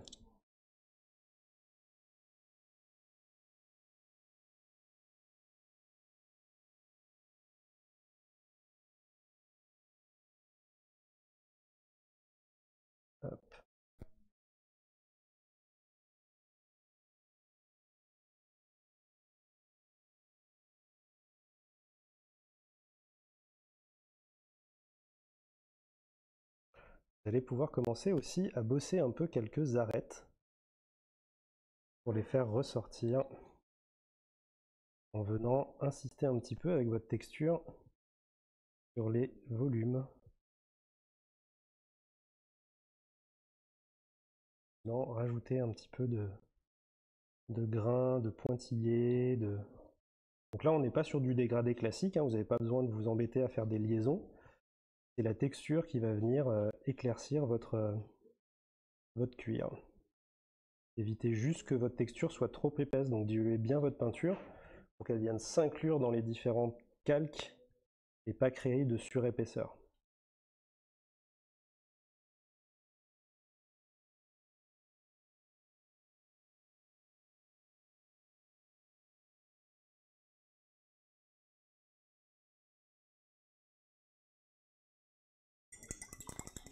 Alors, pour Bellours, Euh, c'est pour ça que dans mes dilutions, j'utilise du contraste médium. En fait, la peinture euh, acrylique est composée de deux choses, des pigments de couleur et euh, un médium acrylique. Ces médiums peuvent avoir différentes qualités et ceux qu'on va utiliser dans la peinture de figurines, c'est des médiums plutôt fins, plutôt, plutôt légers.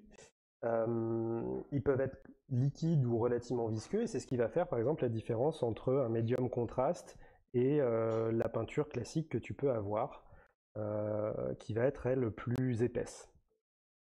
L'idée, euh, quand tu mélanges du coup cet acrylique, quelle que soit la peinture, avec de l'eau, tu vas euh, petit à petit casser ton médium et il va perdre du coup sa tension pigmentaire. La tension pigmentaire, c'est ce qui lui permet du coup de garder liés les uns aux autres les pigments et de faire une bonne accroche à ta peinture. Éviter qu'elle fasse des taches et qu'elle fasse des, flaques d'eau, comme, euh, comme tu l'as fait remarquer.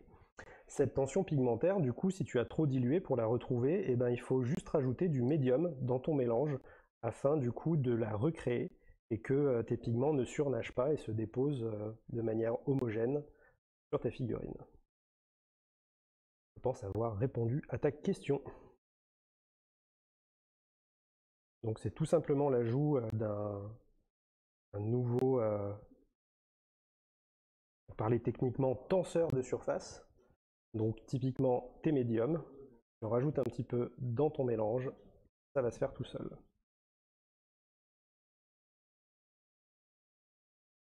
On va faire quelques éclaircies sur le casque au passage, puisque lui il va pas beaucoup rebouger après.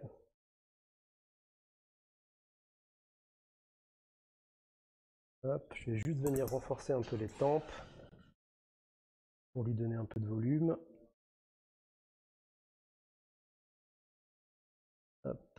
Sur les crânes, j'ombre les tempes et les arcades.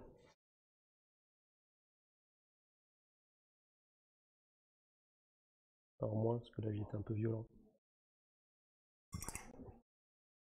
Voilà, et on va continuer du coup notre travail de calque avec une nouvelle couche de Fire Slayer sur le manteau.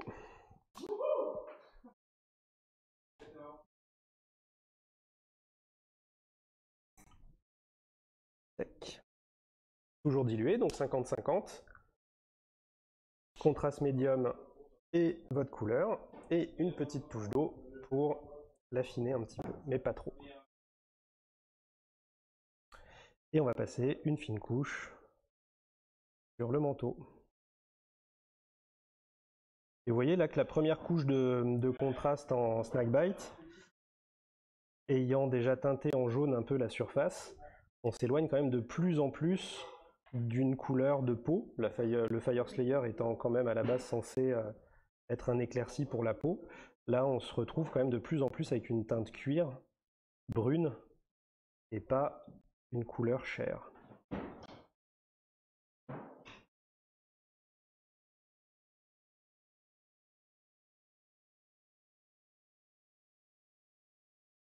Donc voilà, pas besoin de jouer sur l'accumulation, juste une fine couche homogène de partout. Ça suffit.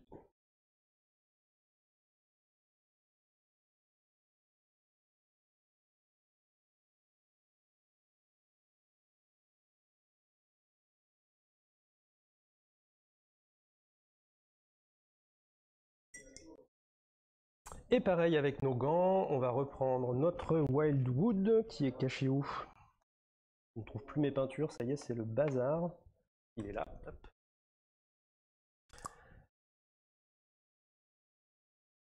Pour le moment, je ne fais que des aplats, des shades et un peu de dry. Oui, bah, pas de souci, c'est la technique de base, donc euh, commence par ça.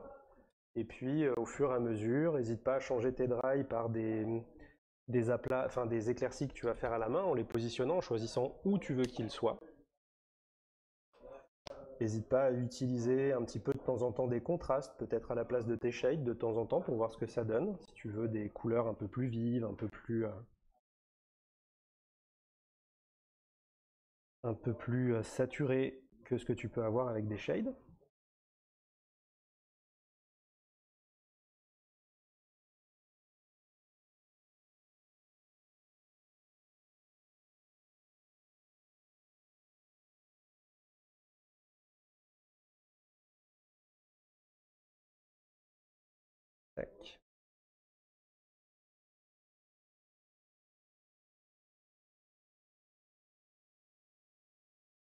Voilà, ça commence à donner.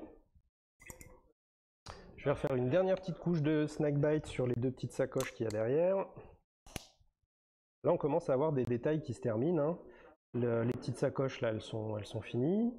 Euh, je vais euh, bientôt finir aussi mes petits sauts de pureté, la poignée de mon arme, parce que là, concrètement, juste un petit éclairci sur ces parties-là, ça suffira. Donc, hop, je vais reprendre un petit peu de brace bone sur ma palette, parce qu'il commence à un petit peu.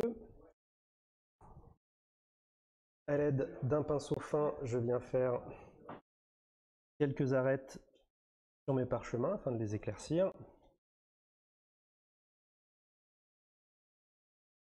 Voilà, et c'est amplement suffisant pour un parchemin qui va sur une table de jeu, c'est déjà un rendu très correct. Et en mélangeant un petit peu de rouge avec une petite touche de beige, je vais venir rapidement faire mes éclaircies sur mes sauts de pureté. Hop, point trop d'en faut, quelques petits éclats de lumière, ça suffit.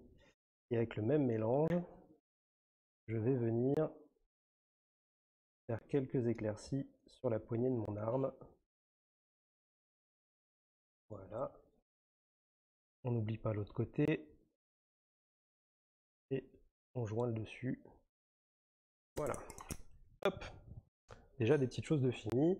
Le casque lui aussi va venir reprendre quelques éclaircies de Bracebone et on va le considérer aussi comme fini à son tour.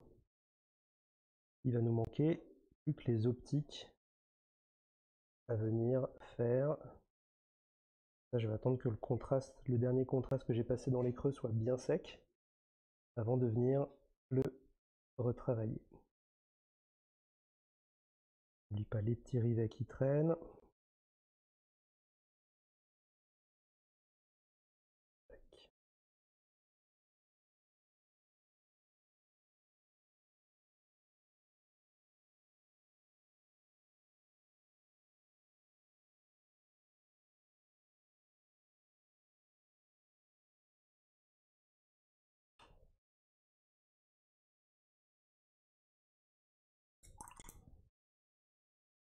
Notre épée, qui a eu son petit euh, coup de Black Templar qui a eu le temps de sécher, on va pouvoir du coup lui faire son petit aplat acier métallique. Hop.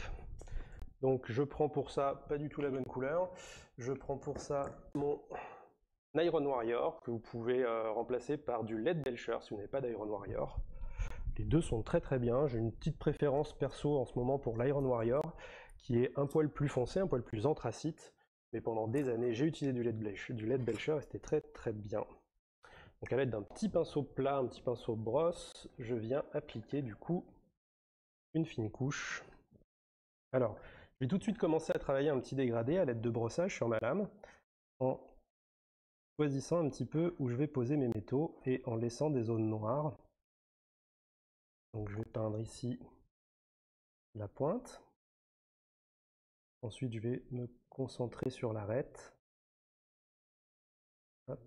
Et à l'opposé, en dessous, c'est du métal, comme un peu sur le tuto qu'on a vu l'autre jour pour les peintures, les métaux, euh, pour les armes énergétiques. Donc, si sur une face de l'épée, j'ai un métallique clair, hop, sur la face opposé de l'épée, j'ai du noir. Et un peu l'idée. Un petit coup ici.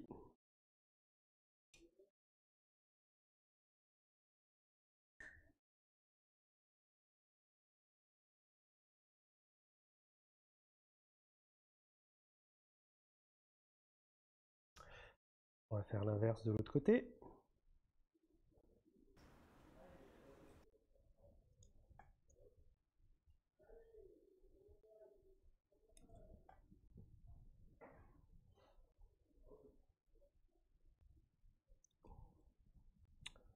Voilà.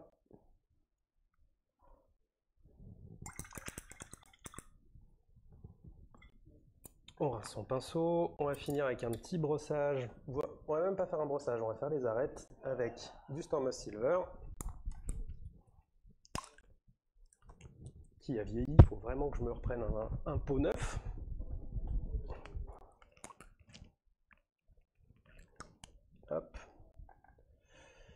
Donc mes métaux, plutôt que de les diluer, plutôt que de les mettre sur une palette, rajouter de l'eau, ma méthode c'est de les poser directement sur un chiffon humide. Ça permet du coup d'avoir quelque chose de fin, de délié, puisque ça va aspirer l'humidité que vous avez dans le chiffon, mais sans trop le détremper et avoir l'effet paillette qu'on peut avoir quand on dilue trop un métallique. Donc vous prenez simplement votre chiffon humide, vous l'étalez dessus, et vous récupérez votre peinture dessus. Voilà, et avec la tranche de mon pinceau, je vais venir du coup réclaircir toutes les arêtes, puisque le Stormos Silver étant un métallique très très clair qui accroche énormément la lumière, il va agir un petit peu comme une couleur blanche, mais pour les métalliques. Et donc il va me servir à refaire toutes les accroches de lumière qu'on peut avoir sur cette lame. C'est une lame un peu brutale, donc euh, on n'hésite pas à lui donner un peu de texture, un peu de vie. On imagine qu'elle n'a pas, euh, forcément toujours été euh, très bien entretenue, ou alors que son utilisation un peu brutale lui a laissé un peu des traces. Donc on n'hésite pas, quand on fait ces éclaircies, à laisser un peu de texture derrière soi, un peu de vie.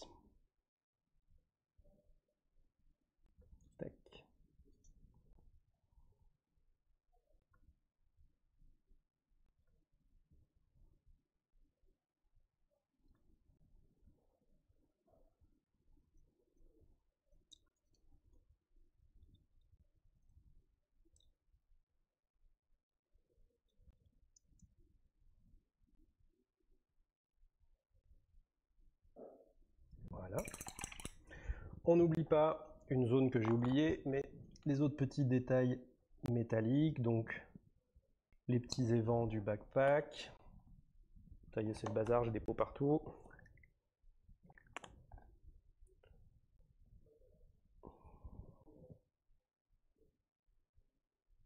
Hop, les petites grilles, c'est le moment de leur mettre un petit peu de couleur pour faire ressortir tout ça.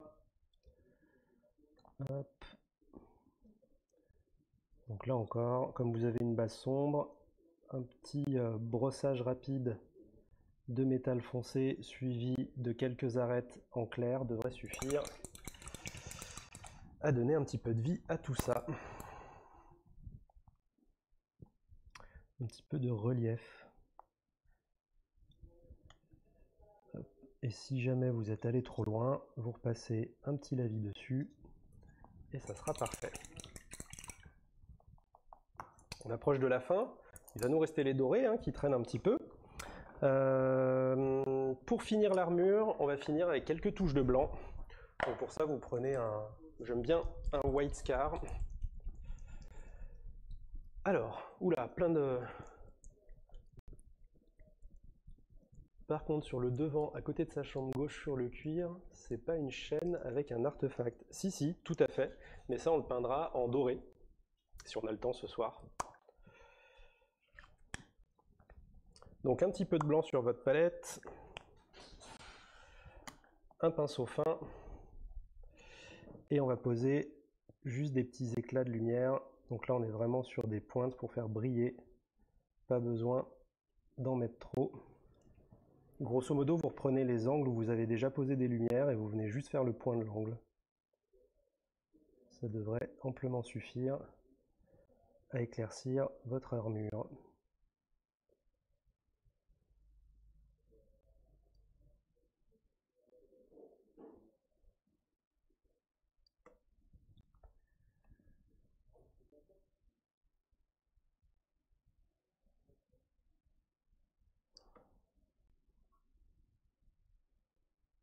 Donc ça c'est une recette pour Black Templar ou Chaplain qui marche très bien pour l'armure noire. Donc je récapitule, une base Incubi, un petit éclairci au Fenrisian Grey, une couche de contraste euh, noir, donc le Black Templar, mais bien dilué pour que par transparence on continue de voir les différents reliefs qui, qui vont apparaître grâce à l'Incubi et au Fenrisian. Une fois que c'est sec, vous venez reprendre quelques éclaircies au Fenrisian et vous venez les affiner avec une petite touche de blanc là où vous voulez que ça brille vraiment. Et ça vous fait une armure noire qui dépote en pas beaucoup de temps.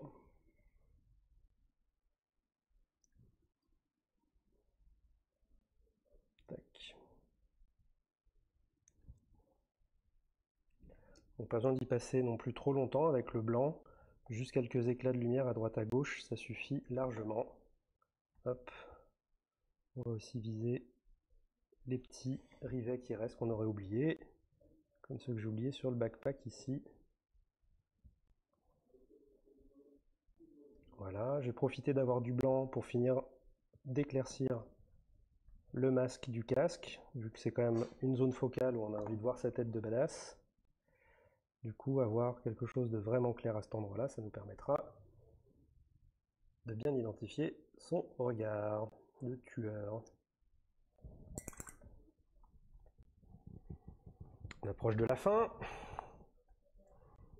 Pour l'arme, on va lisser un petit peu ce qu'on vient de faire avec le métallique en venant juste repasser une fine couche de contraste noir bien dilué. Là, vous pouvez y aller avec de l'eau. Le but, c'est vraiment de, de casser un peu certains reflets qui pourraient être trop violents et de tout lier ensemble. Voilà, effectivement, après si vous avez envie d'un travail plus fin sur l'arme, vous pouvez y passer plus de temps, mais là c'était pas le but de ce tuto. Là le but c'était vraiment de mettre l'accent sur l'armure et le cuir l'armure, je vois que j'ai été un peu violent sur un éclairci, donc je vais reprendre un petit peu de stégadon et je vais venir l'atténuer un petit peu.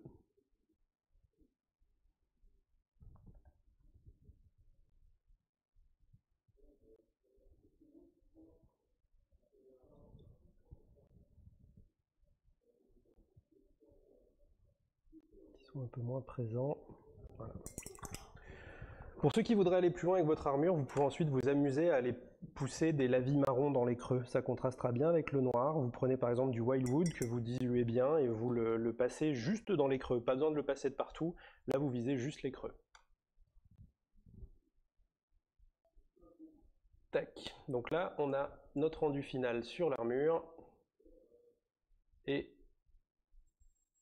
on est quand même pas mal. Une fois qu'on aura fait les dorures, ça fera ressortir les plaques ça sera assez chouette. Pour le cuir, on va encore s'amuser à passer des couches. Et alors concrètement, sur le cuir, c'est un peu sans fin et vous vous arrêtez quand vous le souhaitez. Moi j'aime bien quand mes cuirs sont bien foncés. Et donc euh, c'est juste un jeu de passer couche après couche. Je vais faire un petit truc pour vous montrer. Donc là jusqu'à présent on a passé euh, du,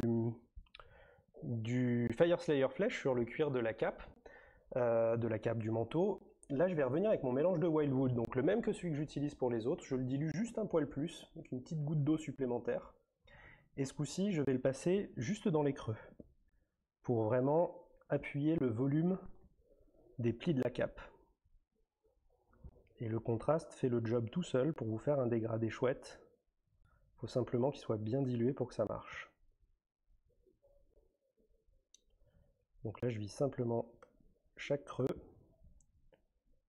et je passe une couche de wildwood en laissant libre les arêtes. Ce qui va renforcer un petit peu le volume à chaque fois.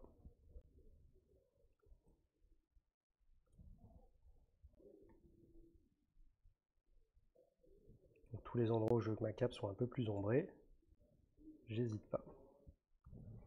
Pour continuer à distinguer le gant du reste. Je vais reprendre mon Wildwood. Ce coup-ci, je vais le diluer moins que les précédentes fois. Et je vais le placer, ce coup-ci, que dans les creux des gants. En laissant les arêtes libres, ce qui va me créer mon dégradé. Et ma lumière tout seul.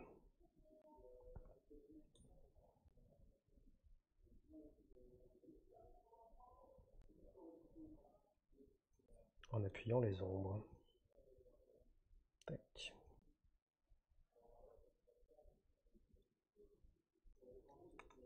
Profitez pour ombrer un peu là-bas derrière. Je vais faire la même chose sur le holster pour bien marquer la distinction entre les deux cuirs.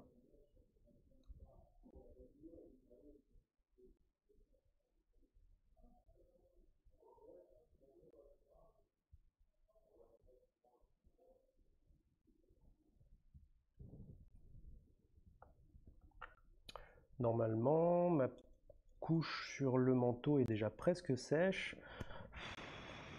Ça va me permettre d'en repasser une très rapidement. Ce coup-ci, je redilue un peu plus mon wildwood.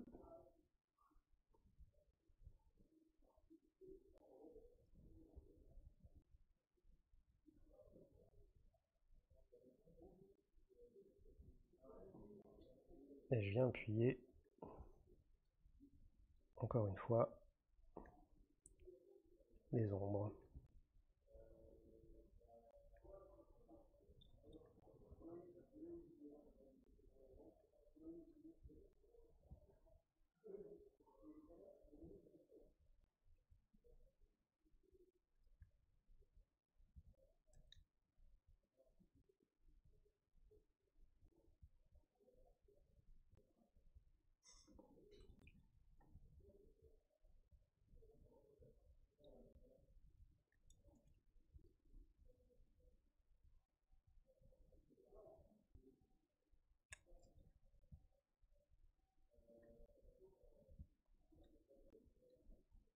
Hop.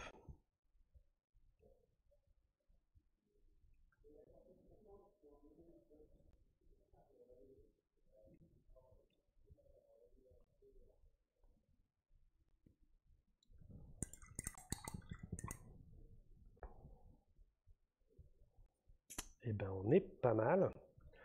Je vais faire la doublure des manches d'une autre couleur pour la faire ressortir. Pour ça, je vais repasser sur mon flèche tireur red de tout à l'heure. Hop, faire comme s'il avait une doublure de manteau d'une euh, un peu plus chaleureuse, un peu plus rouge, une espèce de velours là. Donc je vais prendre mon flèche tireur red, je le dilue un petit peu avec de l'eau. Je veux qu'il marque, donc c'est pour ça que je ne mets pas du contraste médium. Par contre, je le dilue pour qu'il soit fin. Et je vais passer vraiment une fine couche juste pour teinter par transparence la zone que je veux traiter.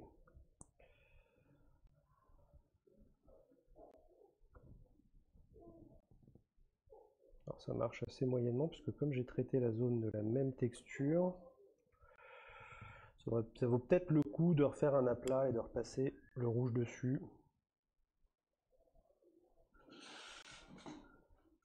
Voilà, ça marche, c'est chouette, ça fait une couleur différente.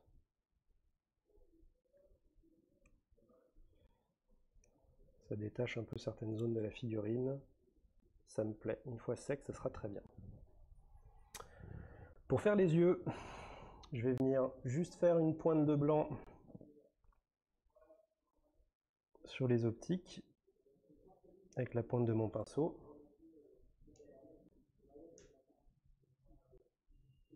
Voilà. Et une fois qu'elle est sèche, je vais simplement venir glisser une petite goutte de contraste rouge dans l'optique.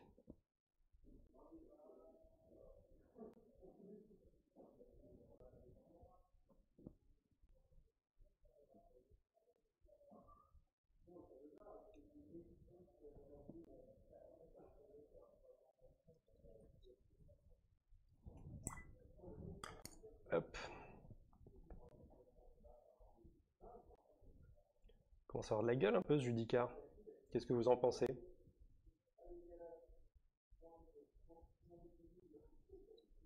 Il va nous manquer du coup les dorures. C'est un petit peu dur de se projeter sur le rendu final sans les dorures, je reconnais. Il se fait un peu tard quand même. Est-ce qu'on vote pour une couche de doré au moins? Que me dit mon, ma conscience? Je n'ai pas de conscience. Ma conscience me dit que je n'ai pas de conscience. Donc on va faire une petite couche de doré. Hop. redétacher un peu tous les détails. Donc je prends, je l'ai mis sur ma palette par réflexe, mais comme je vous ai dit, mes métaux, j'aime bien les faire sur un chiffon humide. Hop. Et on va peindre toutes les dorures. Et je pense que la figurine devrait se révéler à ce moment-là.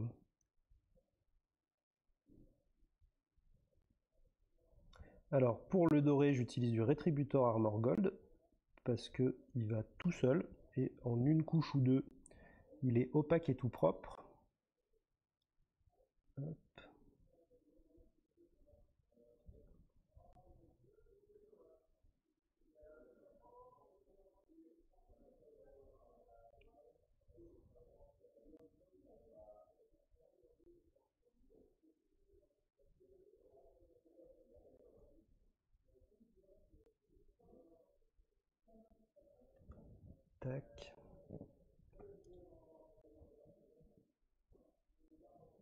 Donc comme tu l'as fait remarquer tout à l'heure, il y a une petite chaînette et une petite relique qui pendent sur le manteau. C'est le moment que je vais utiliser pour les peindre en doré.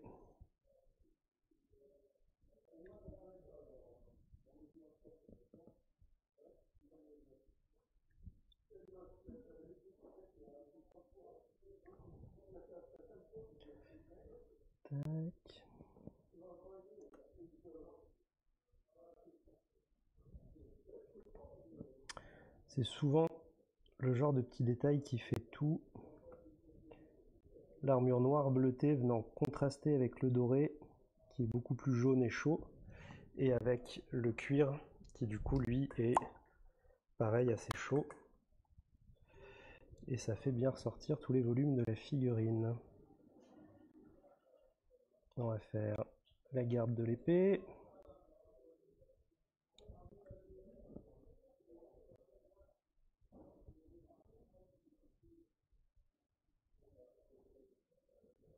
Contrairement à sa lame, doit être rutilante et étincelante.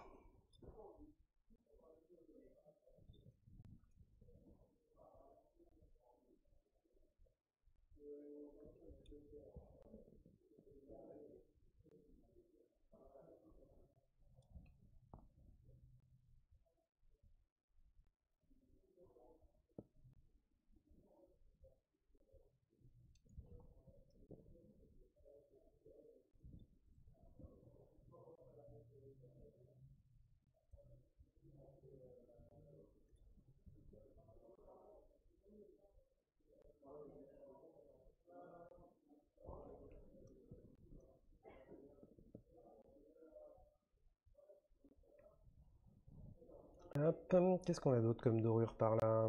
À l'arrière, on a un petit crâne encore sur l'arrière du backpack qui va venir habiller un peu cette zone.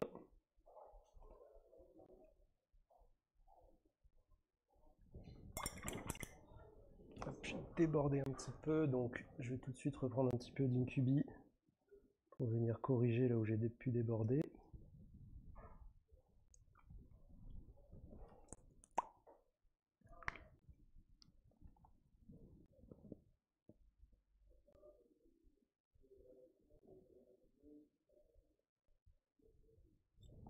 et il va me rester la lanterne à faire sur le devant. Je pense qu'en une heure et demie de peinture, on n'est pas trop mal quand même sur une figurine de ce calibre-là.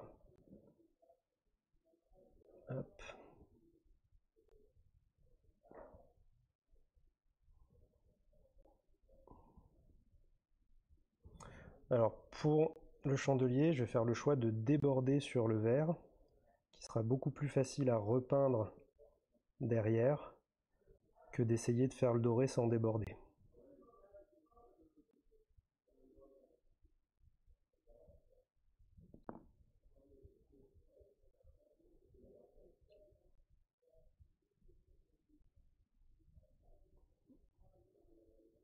on va faire tout en doré et on reprendra le verre après.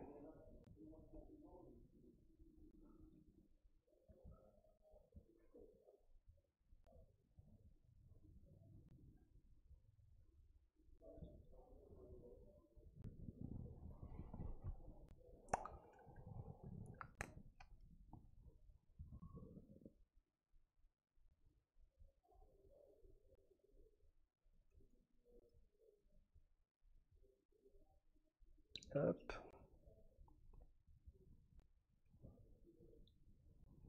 Rien oublié. Il est tout doré. Tiens, on a oublié l'épaulette. Alors, l'épaulette.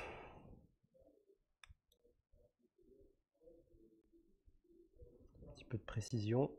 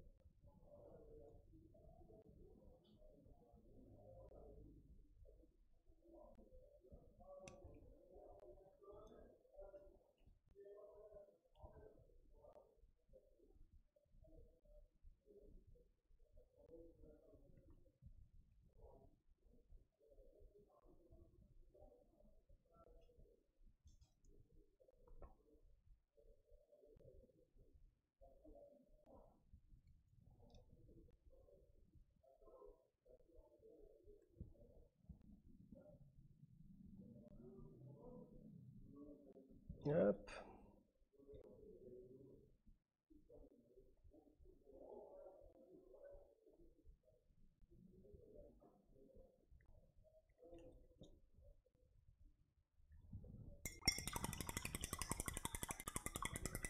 est d'accord qu'il claque plus comme ça.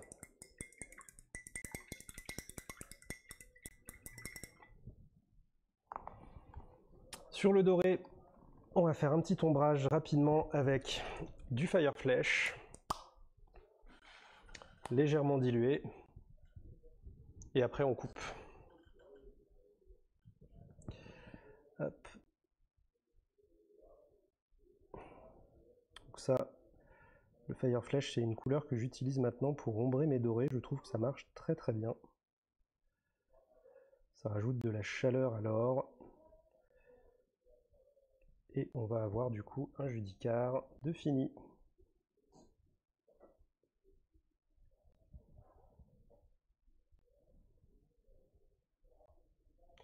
Pour un rendu tabletop pour votre boîte d'Indomitus, je pense qu'on est pas mal.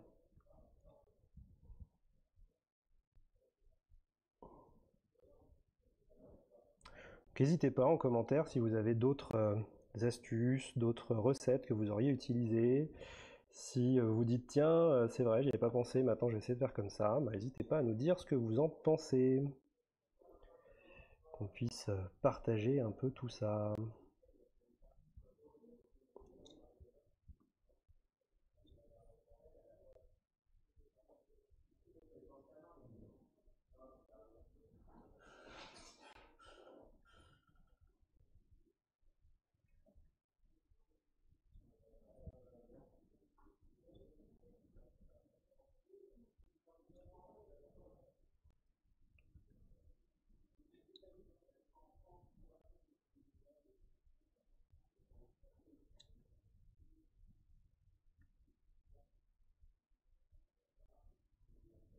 Pour ceux qui voudraient pousser un peu plus loin leur doré, vous suffit de le éclaircir un petit peu avec un peu de, de, de, Silver et vous aurez un doré qui claque.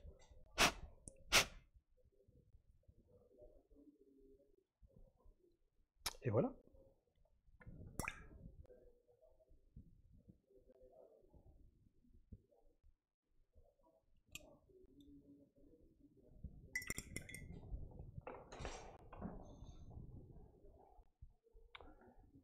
Qu'est-ce que vous en pensez de ce judicar?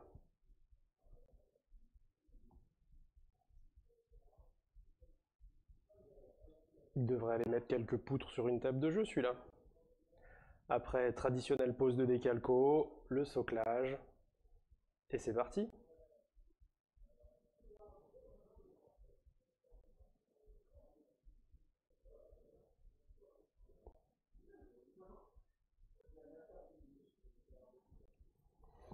Voilà, donc bien sûr, après, vous pouvez passer encore plus de temps, venir refaire, euh, par exemple, les boutons du manteau en métallique, euh, faire une épée plus travaillée, venir repeindre le sablier, etc. Voilà, il y a plein de choses que l'on puisse faire pour euh, améliorer son rendu et aller plus loin. Et comme d'habitude, sur les dégradés, plus vous y passez de temps, plus ça sera chouette.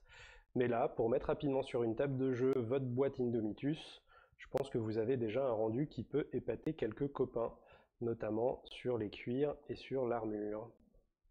Voilà. Donc on va s'arrêter là pour ce soir. J'espère que ça vous a plu. J'espère que vous avez pu euh, trouver de nouvelles idées, de nouvelles techniques pour vos créations. N'hésitez pas à les partager avec nous. Si vous avez des questions, n'hésitez pas à nous les poser. Si vous avez envie de certains tutos, n'hésitez pas à nous le demander. Ça peut nous donner de l'inspiration pour les prochaines sessions de live. Voilà. Donc euh, à vous les studios, je pense qu'on va se quitter là pour ce soir, parce que la soirée jeu va débuter. Et moi, il faut que je rentre chez moi. Voilà, voilà. Bisous à tous, on vous souhaite une bonne semaine. Et la semaine prochaine, on n'oublie pas la sortie et le week-end de la V9 à la boutique. Allez, bisous